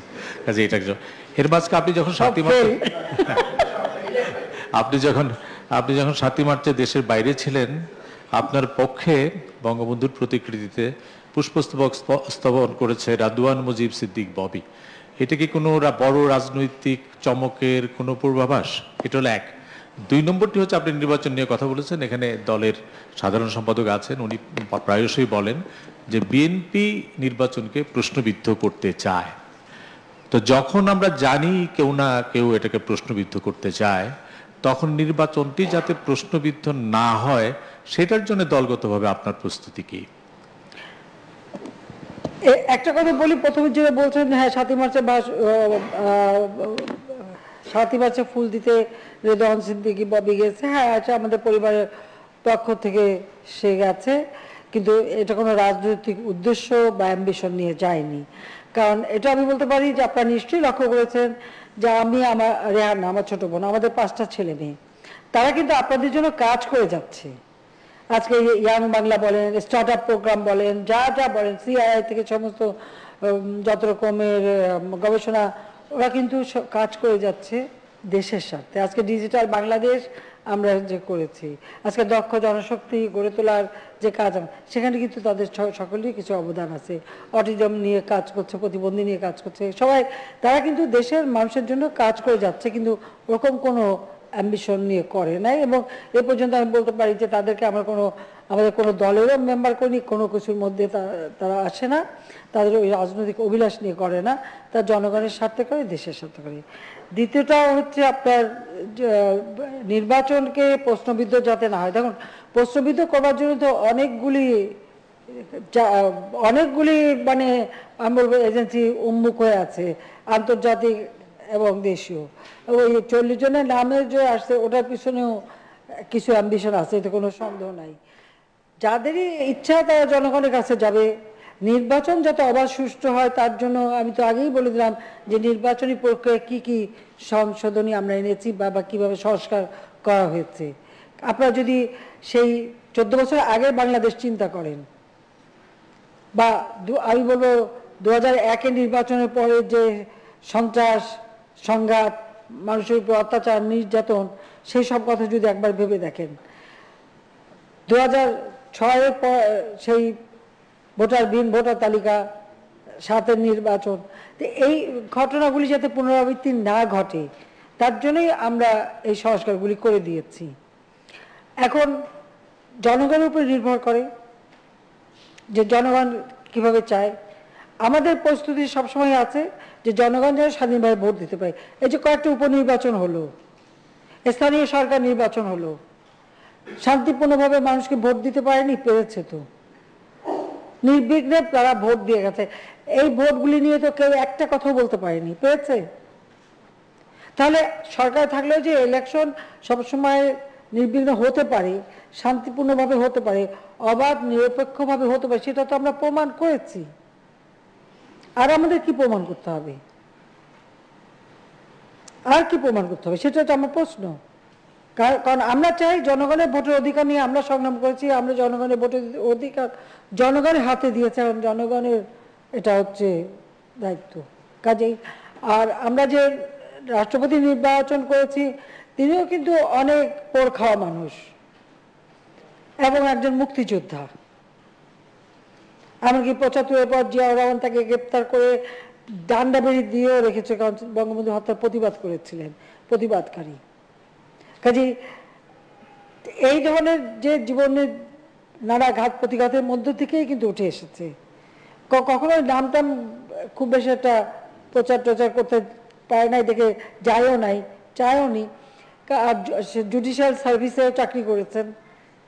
তারপরে নিজেই মানে বিএনপির আমলে বাধ্য হয়ে চাকরি ছাড়- ছাড়তেও হয়েছে। কাজে আমি মনে করি যে তার মাঝে ওই মানে একটা দায়িত্ববোধ যেটা বা দেশপ্রেম যেটা যা সব থেকে প্রয়োজন। এবং রাজনৈতিক সচেতনতা, সবচেয়ে বড় কথা মুক্তিযোদ্ধা হিসেবে দেশপ্রেম, রাজনৈতিক সচেতনতা আছে সেই ব্যক্তিত্ব আছে। কাজী নাহলে সবসময় এই প্রচেষ্টাই থাকবে, নির্বাচন যেন অবাধ, নিরপেক্ষ, সুষ্ঠু হয়। সেটাই চাইবে। কারণ আমরা গণতন্ত্রের জন্যই তো সংগ্রাম করেছি। সারা জীবন মিলিটারি ডিক্টেটরদের বিরুদ্ধে আন্দোলন করে করে সে আইব খান, ইয়াহিয়া খান, জিয়া, এরশাদ, এরপরে আবার ব্যাক কি ইলেকশন কি আর্মি ব্যাক সরকার অথবা মানে আর্মি অফিসারের স্ত্রীর সরকার এরকম বহু রকম জিনিস আমরা দেখেছি। তো এইগুলি দেখে দেখে ঘাত প্রতিঘাতের মধ্য দিয়ে বলতে পারেন যে এই দুই হাজার নয় সাল থেকে বাইশ, এই তেইশ সাল পর্যন্ত অন্তত পক্ষে জনগণের ক্ষমতা জনগণের হাতে দিতে পেরেছি। এখন এটা ধরে রাখার দায়িত্ব কিন্তু আমার একার না, আপনাদের সবার। আপনারা এইভাবে শান্তিপূর্ণভাবে নিজের দেশকে এগিয়ে নিয়ে যাবেন কি না, সেটা আপনাদেরও ভাবতে হবে, সাংবাদিকদেরও ভাবতে হবে। কারণ আপনাদের তো কথা বলার অনেক সুযোগ আমরা করে দিয়েছি, এটা তো আগে কেউ দেয়নি। এখন তার কেউ কাউকে গলা চিপেও ধরে না। টক শো তো চলতেই থাকে। তারপর হচ্ছে সোশ্যাল মিডিয়া সত্য দিয়ে, মিথ্যা দিয়ে, লক্ষ লক্ষ আজে বাজে কত কিছু ছড়াচ্ছে। সত্যের জয় হয়, এটা কেউ ঠেকাতে পারে না, এটা আমি বিশ্বাস করি। তো আমাদের সে প্রস্তুতি আছে। হ্যাঁ। সোশ্যাল মিডিয়া আমাদের উন্নয়ন প্রযুক্তি, আমরা বিশ্বের রোল মডেল সব ঠিক আছে। আজকে সেতু আছে সব কিছু আছে। যে সামাজিক যোগাযোগ মাধ্যম, সেটি নিয়ন্ত্রণের জন্য, অর্থাৎ আমাদের মাননীয় সাধারণ সম্পাদক, আওয়ামী লীগের, তার একটা মৃত্যুর খবর আমরা দেখলাম সোশ্যাল মিডিয়ায় চলে গেল। অর্থাৎ এই ধরনের, আমাদের দেশের মানুষ তো ধর্ম ধর্মান্ধ অনেকটা। তো আমরা তো এই ধরনের আগামী নির্বাচনকে সামনে রেখে এই ধরনের অনেক ইচ্ছা কাহিনী গল্পেও অনেক মিথ্যা এরকম হবে। সেটা নিয়ন্ত্রণের জন্য আমাদের কোনো প্রযুক্তি আছে কিনা? সরকারের কাছে যেরকম এই উত্তর কোরিয়ায় ওখানে ফেসবুকই চলে না ওখানে ইউটিউবই চলে না। তো ওই এই বাংলাদেশে আমি সেটা বন্ধের জন্য বলছি না কিন্তু সেটা নিয়ন্ত্রণের জন্য আগামী নির্বাচনকে সামনে রেখে আপনার কাছে উন্নত কোনো প্রযুক্তি আছে কিনা নইলে কিন্তু আমাদের সমস্যা হয়ে যাবে। না এটা আমরা সাইবার জীবন দিয়েছেন আল্লাহ জীবন দিয়েছেন। আমি না, আল্লাহ দিয়েছে। আমি হার্ট অ্যাটাক করার পরে পনেরোই মাস আপনি সরাসরি অর্থাৎ গণমাধ্যম নয় আমার মতো আমার একটা ক্ষুদ্র অবস্থান থেকে আপনি যা করেছেন আমি আবার জীবন ফিরে পেয়েছি আপনার কাছে কৃতজ্ঞতা না না এটা আল্লাহর কাছে না সাইবার ক্রাইম একটা আইন করা আছে এটা আন্তর্জাতিকভাবেও কিন্তু এখন এই বিষয়গুলি যথেষ্ট সচেতন সবাই। আন্তর্জাতিক সংস্থাগুলিও কিন্তু এ ব্যাপারে সচেতন। তবে এখন একটা মিথ্যা অপপ্রচার করা একটু করতেই থাকবে যারা যাদের অভ্যাস তারা করবে কিছু করার নেই। আর একটা মিথ্যা বলতে বলতে ও মানুষ আছে বুঝে যাবে। মাননীয় প্রধানমন্ত্রী আবার আহ, সপ্রসঙ্গে দলে ফিরে আসার জন্য কৃতজ্ঞতা জানাচ্ছি। আমি শ্যামল দত্ত ভোরের কাগজের সম্পাদক এবং জাতীয় প্রেস ক্লাবের জেনারেল সেক্রেটারি। আমি আবার একটু দোহা ভিজিট এবং এলডিসি সামিটে যেতে যাচ্ছি। একটা হচ্ছে যে আপনার সঙ্গে কাতারের আমিরের একটা অত্যন্ত গুরুত্বপূর্ণ দ্বিপক্ষীয় বৈঠক ছিল, এবং সেই বৈঠকে আপনি জ্বালানি সহযোগিতা চেয়েছিলেন। আমরা জানি যে সামনে গ্রীষ্মকাল আসছে এবং বেশ গরম, বিদ্যুতের একটা বড় সংকট থাকবে। আপনি যে এনার্জি সাপোর্টটা চেয়েছেন সেই প্রেক্ষিতে ওই দিনই রাতে কাতারের আমিরের প্রতিনিধি দল আপনার সঙ্গে বৈঠক করেছেন। জ্বালানি খাতে সহযোগিতা কি কি ধরনের দরকার তা জানতে চেয়েছেন আপনার কাছে। সহযোগিতাগুলো কি কি পাওয়া যেতে পারে? আরেকটি হচ্ছে যে, কয়েকটি সাইড লাইনে আপনার সঙ্গে আমাদের সেমিনারগুলোতে থাকার সুযোগ হয়েছিল। আপনার একটা আক্ষেপ ছিল যে, বিদেশি এত প্রশংসা কিন্তু বাংলাদেশের মিডিয়া কেন প্রশংসা করে না? আমরা দেখেছি যে, মিশরের মন্ত্রী স্তোনিয়ার মন্ত্রী এবং সিঙ্গাপুরের মন্ত্রী একসাথে মিলে আপনার প্রশংসা করেছেন। বিশেষ করে এলডিসি যে গ্র্যাজুয়েশন মোজাম্মেলবাবু যদিও বলেছেন এটা ফেয়ারওয়েল কিন্তু একই সঙ্গে এটা সেলিব্রেশনও ছিল। যে আমরা যে কনজিকিউটিভ ইয়ারগুলোতে আমরা অল যে সমস্ত ইন্ডিকেটর ছিল সেগুলো আমরা অর্জন করেছি। ফলে সেক্ষেত্রে অন্যান্য দেশ মনে করে যে বাংলাদেশের এই রোল মডেলটা অন্যদের ফলো করা উচিত। আমরা জানি কয়েকটি দেশ আছে, অন্তত তিনটি দেশ মালাউই নেপাল এবং কম্বোডিয়া, তারা এলডিসি চাচ্ছে না, এখন এলডিসি থেকে উত্তরণটা চাচ্ছে না এই ধরনের ক্রাইসিসের মধ্যে। কিন্তু বাংলাদেশের ছিল এই সমস্ত ইন্ডিকেশন সব কিছুর ঊর্ধ্বে। আরেকটা জিনিস যেটা ছিল, কতগুলো চ্যালেঞ্জের কথা বলেছেন। দুই হাজার ছাব্বিশ সালের পর যখন আমরা এলডিসি উত্তরণ ঘটে যাব, তখন কিন্তু আমাদের কতগুলো সুবিধা আমরা কিন্তু পাবো না। এবং এগুলো আপনার কাছে জানতে চেয়েছেন, অনেকে সেই উদ্বেগের কথাগুলো জানিয়েছেন। যেমন আমাদের export basket highly dependent on readymade garment আমাদের রেমিটেন্স নির্ভর ফরেন কারেন্সি এইসব দিকে আপনার ভবিষ্যতের চিন্তার কথাগুলো জানতে চেয়েছেন। এই ব্যাপারে আপনার কি মন্তব্য একটু জানতে চাই। যাক, আমি অন্য কিছু বললাম, তার উত্তর তো আগেই দিয়েছি যে কেউ যে দেখে না, ওই যে একটা শিশির বিন্দু, একটি ঘাসের শীষে একটি শিশির বিন্দু কেউ দেখে না। তো আমি সেই শিশির বিন্দু, কচু পাতার উপর এক ফোঁটা পানি, আজকে আছে নেই, সেটা না। আমি যেটা বলব যে জ্বালানি খাতের সহযোগিতা আমাদের কাতারের সাথে কিন্তু দীর্ঘদিনের। আমি যখন প্রথম কাতারে গিয়েছিলাম দু হাজার দশে, তখনই আমরা এমনিও সই করি, তারপরে আমাদের দীর্ঘমেয়াদী আমাদের কিন্তু চুক্তি আছে। প্রায় চোদ্দ বছরের চুক্তি একটা করাই আছে, আবার সেটা শেষ হওয়ার সাথে সাথে আমরা আবার আমরা পাবো এখানে কোনো অসুবিধা নেই, সেটা তারা আমাদের কথা দিয়েছেন। আমরা এলএনজি আমদানি করি তাদের কাছ থেকে, এবং এর বাইরেও আমরা অন্যান্য দেশের সাথেও চুক্তি করছি। তবে হ্যাঁ আমাদের বিদ্যুতের ক্ষেত্রে আমি সবাইকে অনুরোধ করব। এটা আজকে আমার সবার কাছে অনুরোধ যে বিদ্যুৎ ব্যবহারে সবাইকে সাশ্রয়ী হতে হবে। ইংল্যান্ডে দেড়শো ভাগ বিদ্যুতের দাম বাড়িয়েছে। আমরা কিন্তু তা বাড়াইনি। আমরা অতিরিক্ত দামে উৎপাদন করি, আমরা সেখানে ভর্তুকি দিয়েই দিচ্ছি। এলএনজি অতিরিক্ত দামে আনি, তার কম দামে দিই, সেটা কিন্তু দেওয়া আর সম্ভব না। যেহেতু এখন এত দাম বেড়ে গেছে সেই ক্ষেত্রে সবাইকে ব্যবহার করা তো অন্তত কমাতে হবে। কোনো মতেই জন্য আর তাতে নিজেদেরও লাভ হবে, বিলটাও কম উঠবে। আমরা আমাদের যেমন প্রধানমন্ত্রী দপ্তর বা আমরা এখানেও সব এই এখন এত বাতি জ্বালালো, তারপরেই কিন্তু আমরা বন্ধ করে দিই। সব সময় এগুলি কিন্তু আমরা মেনে চলি। নিজের হাতে আমরা সুইচ অফ করি। তারপর যে, এমনকি টেলিভিশন এসে যে লাল বাতিতে জ্বলে থাকে বা আমাদের চার্জার যে চার্জ দিয়ে যাও ট্রেন নিয়ে যায়, ওটা কিন্তু খোলা থাকে। বিদ্যুতের বিল কিন্তু উঠতে থাকে। সুইচটা অফ করে দিলে আর কিন্তু ওঠে না। জ্বালানি তেল, ভোজ্য তেল, বিদ্যুৎ, পানি, এগুলি ব্যবহারে সবাইকে অন্তত সাশ্রয়ী হতে হবে। তাতে নিজেদের বিলও কম উঠবে, আবার ব্যবহারও কম হবে। কারণ সামনে গরমকাল আসছে। আমরা এখন সব ঘরে বিদ্যুৎ দিতে পেরেছি, এটা ঠিক।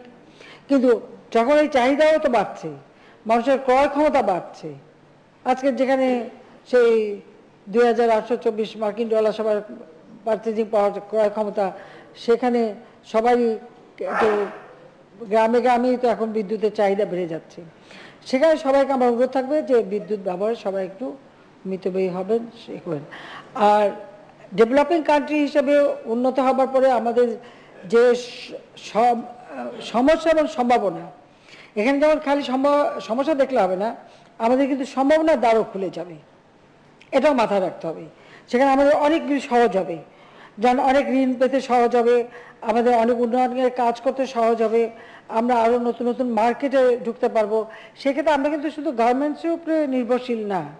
আমাদের যেমন ডিজিটাল ডিভাইস ইতিমধ্যে আমাদের বিনিয়োগ হচ্ছে। আমি একশোটা অর্থনৈতিক অঞ্চল করেছি, আমরা বিনিয়োগ আনার চেষ্টা করছি এবং বিনিয়োগে আসার জন্য কিন্তু এখন সবার খুব আগ্রহ। আমরা সেটা করে দিচ্ছি। আমাদের পোর্টগুলি আমরা উন্নত করে দিচ্ছি। আমাদের প্রত্যেকটা ক্ষেত্রেই কিন্তু আমরা- যেমন শিল্পক্ষেত্র, আজকে আমাদের চামড়া শিল্প আছে, পাট, পাটজাত পণ্য, কৃষি, কৃষিজাত পণ্য খাদ্য পণ্য এই সবই কিছু, মাছ, মাংস সবই যত আমরা উৎপাদন করব, আমরা সেগুলি রপ্তানি করতে পারব। আমরা কিন্তু এখন প্রায় সত্তরটা দেশে আমাদের তরকারি আমরা রপ্তানি করছি। আমাদের ফার্মাসিউটিক্যাল আমাদের শ্রমিক এইগুলির কিন্তু বিরাট একটা বাজার আছে। একশোটার উপরে দেশে আমাদের ফার্মাসিউটিক্যাল যাচ্ছে। তো সেইগুলির ক্ষেত্রে আমরা কিন্তু আরও নতুন নতুন বাজার খোঁজা, নতুন নতুন পণ্য উৎপাদন করা এবং সেগুলি আমাদের রপ্তানির আওতায় নিয়ে আসা আমরা সে ব্যাপারে যথেষ্ট উদ্যোগী।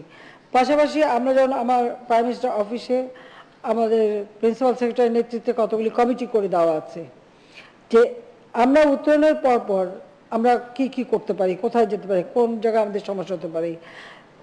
একে দুটো দিক, একটা হচ্ছে জাতিসংঘের এসডিজি বাস্তবায়ন সেটা বাস্তবায়নের জন্য সেখানে আলাদা একটা উইং আমি করে দিয়েছি, একজনকে বসে দিয়েছি যে এসডিজির কোন কোন খাত আমাদের দেশে প্রযোজ্য, সেখানে আমাদের কা- কি কাজ করানো সেটাকে সাফল্য করা, সেই কাজগুলিও যেমন চলছে।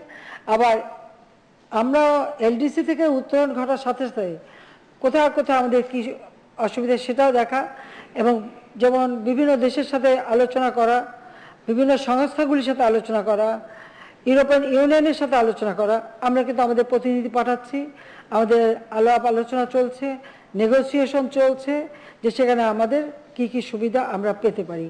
আর কোনো কোনো ক্ষেত্রে যেহেতু এই যে করোনা আর যুদ্ধের জন্য যে সময়টা নষ্ট হলো, এই সময়টার জন্য আমরা আর একটু সময় কতটুকু কোন কোন ক্ষেত্রে পেতে সুবিধা পেতে পারি, এ বিষয় নিয়ে কিন্তু আমরা বিভিন্ন আন্তর্জাতিক সংস্থার সঙ্গে আমাদের কিন্তু নেগোসিয়েশন চলছে, আলোচনা চলছে, আমরা কিন্তু আলোচনা করছি। কারণ আমরা যে এলডিসি থেকে উত্তরণটা আমরা তো গ্রহণ করে নিয়ে বসে থাকিনি এবং এরই ভিত্তিতে আমাদের যে পঞ্চবার্ষিকী পরিকল্পনা বা আমাদের বাজেট সেগুলো কিন্তু আমরা সেটা মাথায় রেখেই কিন্তু তৈরি করছে। আমাদের উন্নয়ন প্রকল্পগুলিও কিন্তু সেভাবেই আমরা নিচ্ছি। কাজে প্রস্তুতি কিন্তু নিয়ে আছে এটা না যে একটা গালভরা বলে ফেললাম, আর হা করে বসে থাকলাম, সেটা থাকি না। কাজ কিছু গুছিয়ে নিয়ে যখন ভাবি যে না এটা আমরা করতে পারব, তখনই আমরা বলি এবং আমরা করে ফেলি। করে ফেলি, করে ফেললাম তো। মাননীয় প্রধানমন্ত্রী আমার একটি প্রশ্ন ছিল। আসলে এতক্ষণ যারা প্রশ্ন করলেন আপনাকে তারা সবাই সিনিয়র সাংবাদিক। আমরা যারা নিয়মিত আপনাকে কভার করি তারা সুযোগ পাচ্ছিলাম না। আমি একরকম জোর করে সুযোগটা নিলাম। মাননীয় প্রধানমন্ত্রী আমার নাম শাহ আলী জয়। আমি হ্যাঁ। নিউজ টোয়েন্টি ফোর টেলিভিশনে কাজ করি। আপনি হয়তো জেনে থাকবেন যে খুব সম্প্রতি বাংলাদেশে একটি বেসরকারি টেলিভিশনে বাংলাদেশি গণমাধ্যমে একটি সাক্ষাৎকার প্রচার হয়েছে ভারতীয় উলফা নেতা অনুপ চেটিয়ার। তিনি দাবি করেছেন যে উলফার যে কার্যক্রম বাংলাদেশে তারা চালিয়েছেন সেটি তৎকালীন বিএনপি জামাত জোট সরকারের প্রত্যক্ষ মদদে এবং বাংলাদেশে যে দশটা অস্ত্র এসেছিল সেই অস্ত্র সেই সরকারের মদদেই তারা বাংলাদেশে এনেছিলেন ইন্ডিয়াতে পাচার করার জন্য। তো এই ঘটনার পরে, এই ঘটনাটি ভারতীয় অনেক গণমাধ্যমও দেখছি যে প্রতিনিয়ত এই নিউজটি করছে। কিন্তু এই ঘটনাটির পরে যখন বিএনপি কেন্দ্রীয় নেতাদের জিজ্ঞাসা করা হচ্ছে, তারা এই বিষয়টিকে রাজনৈতিক বিষয় বলে এড়িয়ে যেতে চাচ্ছে। তো তাদের এই তারা যে এড়িয়ে যাচ্ছে, তারা যে রাজনৈতিক বিষয় হিসেবে এই বিষয়টিকে দাবি করছে, আপনি তাদের দাবিকে কতটুকু যৌক্তিক মনে করেন? ধন্যবাদ। যেটা হাতে হাতে ধরা পড়ল যে দশ ট্রাক ভর্তি অস্ত্র পাচার হচ্ছে এবং যে পুলিশ ধরলো, সেই পুলিশকে টর্চার করল চাকরিতে বের করে দিল, অত্যাচার করল। তো এটা আবার শুধু রাজনৈতিক হয় কীভাবে? আর এই দশ ট্রাক অস্ত্র মামলায় কিন্তু তারিখ যে সাজাপ্রাপ্ত এবং খালেদা জিয়ার মন্ত্রীরাও। তারপরে যদি তারা এটাকে রাজনৈতিক বলে এটা তো আমার মনে হয় যেটা জনগণই বিচার করবে। এটা তাদের ভাওতাবাজি জনগণের সাথে একেবারে মুনাফেকি আর কিছু না। সম্পূর্ণ জনগণের সাথে মুনাফাকি করা। কারণ তাদের কি, এই অস্ত্র চা- চোরা কারবারি ব্যবসাটাই হচ্ছে তাদের ব্যবসা। আর সেটাকে তারা রাজনীতি হিসেবে দেখাতে চায়। কাজে এর বেশি আর কি বলব আমি? আসলে ওদের জন্মই হয়েছে অস্ত্র হাতে নিয়ে অবৈধভাবে ক্ষমতা দখলকারী একজন সেনা, সেই সেনা সে হলো সেনাবাহিনীর প্রধান, আবার সেই অবস্থা থেকে নিজের রাষ্ট্রপতি ঘোষণা দিয়ে, অস্ত্র হাতে নিয়ে নিজেকে রাষ্ট্রপতি ঘোষণা দিয়ে ক্ষমতায় বসতে আর সেই ক্ষমতায় উচ্ছিষ্ট বিলিয়ে তৈরি করা দল হলো বিএনপি। কাজে এদের কাছে এর বেশি কি জনগণ আশা করবে? লুটপাট করা দুর্নীতি করা। কারণ বিএনপি খালেদা জিয়া, তার ছেলেদের দুর্নীতির কথা এটা আমাদের না। এটা তো আমেরিকার এফবিআই খুঁজে বের করেছে, সিঙ্গাপুরে ধরা পড়েছে, এমনকি তাদের পাচার করা চল্লিশ কোটি টাকা কিন্তু বাংলাদেশ উদ্ধার করে ফেরত এনেছে। এ কথাটা বোধ সকলের মনে রাখা উচিত। চল, তাদের পাচার করা চল্লিশ কোটি টাকা কিন্তু আমরা ফেরত আনতে সক্ষম হয়েছি। তো সেটাও রাজনৈতিক বলবে?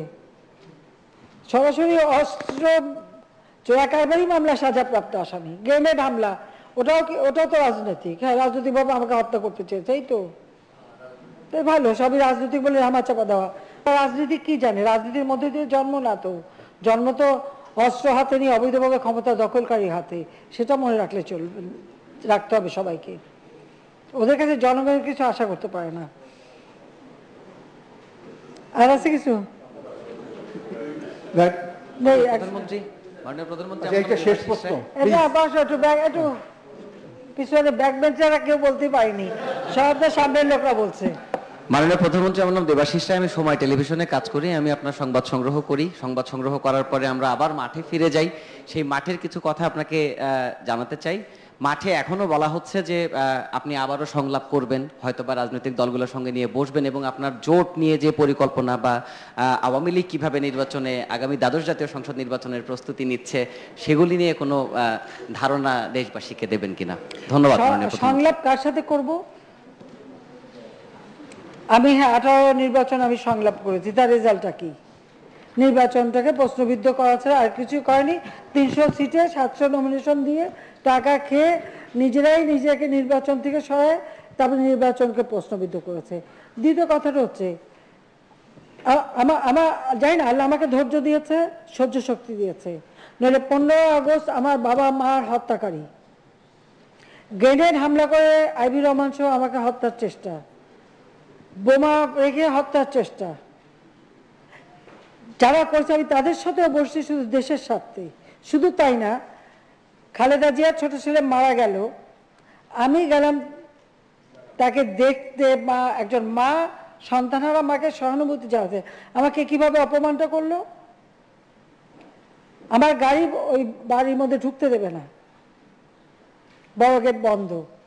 আমি যখন টেলিফোন করে সময় নেওয়া হয়েছে যে আমি এই সময় আসব।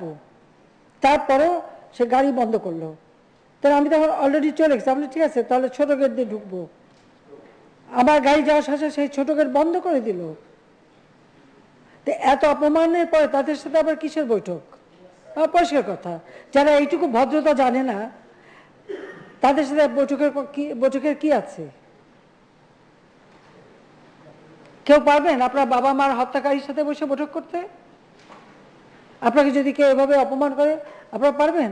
কে পাবে যেটুকু সহ্য করেছে শুধু দেশের স্বার্থে, জনগণের স্বার্থে, নিজের স্বার্থে না এটা তো প্রমাণিত বাংলাদেশের মানুষের জন্য। আর তারপরে আবার এদের সাথে কিসের কথা বলব?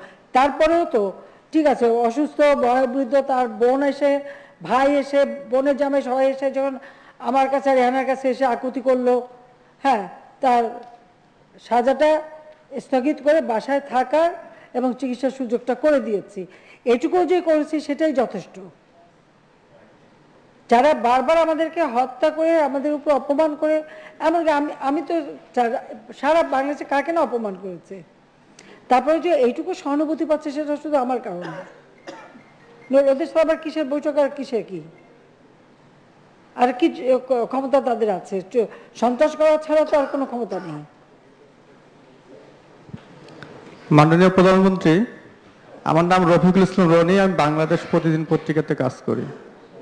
মাননীয় প্রধানমন্ত্রী আমার বাড়ি চলন বিলে বৃহত্তর চলন বিলে শস্য ভান্ডার খ্যাত। এখানে মাননীয় কৃষিমন্ত্রীও আছেন। চলন বিলে তিন ফসলি জমিগুলোতে খনন করে পুকুর করা হচ্ছে মাছ চাষের জন্য। আপনার তো কৃষি বান্ধব মানে প্রধানমন্ত্রী। করা হচ্ছে? তিল ফসলি তিন ফসলি জমি খনন করে মৎস্য চাষের জন্য পুকুর করা হচ্ছে। তো আশা করি যে এটা একটু নজর দিবেন। আর এটা আমার প্রশ্ন না এটা জাস্ট আপনি যেহেতু কৃষক রত্ন কৃষক লিগে আপনাকে একটা উপাধি দিয়েছিল যে কৃষক রত্ন।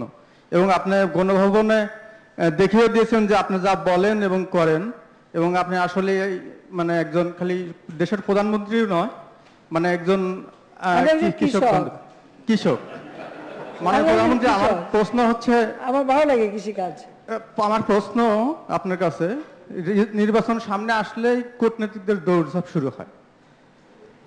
কিছুদিন আগে পার্টির আপনার পার্টির সেক্রেটারিও সেক্রেটারির কাছে এসেছিলেন কিছু কূটনীতিক এবং পরবর্তীতে সেক্রেটারিও কিছু কূটনীতিক সঙ্গে বৈঠক করেছেন।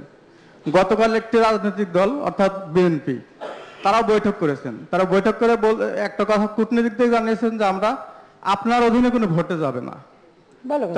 আর আরেকটা প্রশ্ন আমাদের ফরিদ ভাই করেছিলেন আপনাকে, যে নোবেল বিজয়ী একজন মানুষ যিনি ওই ভাড়া করে তার একটা বিবৃতিও দেওয়া হয়েছেন আর কি।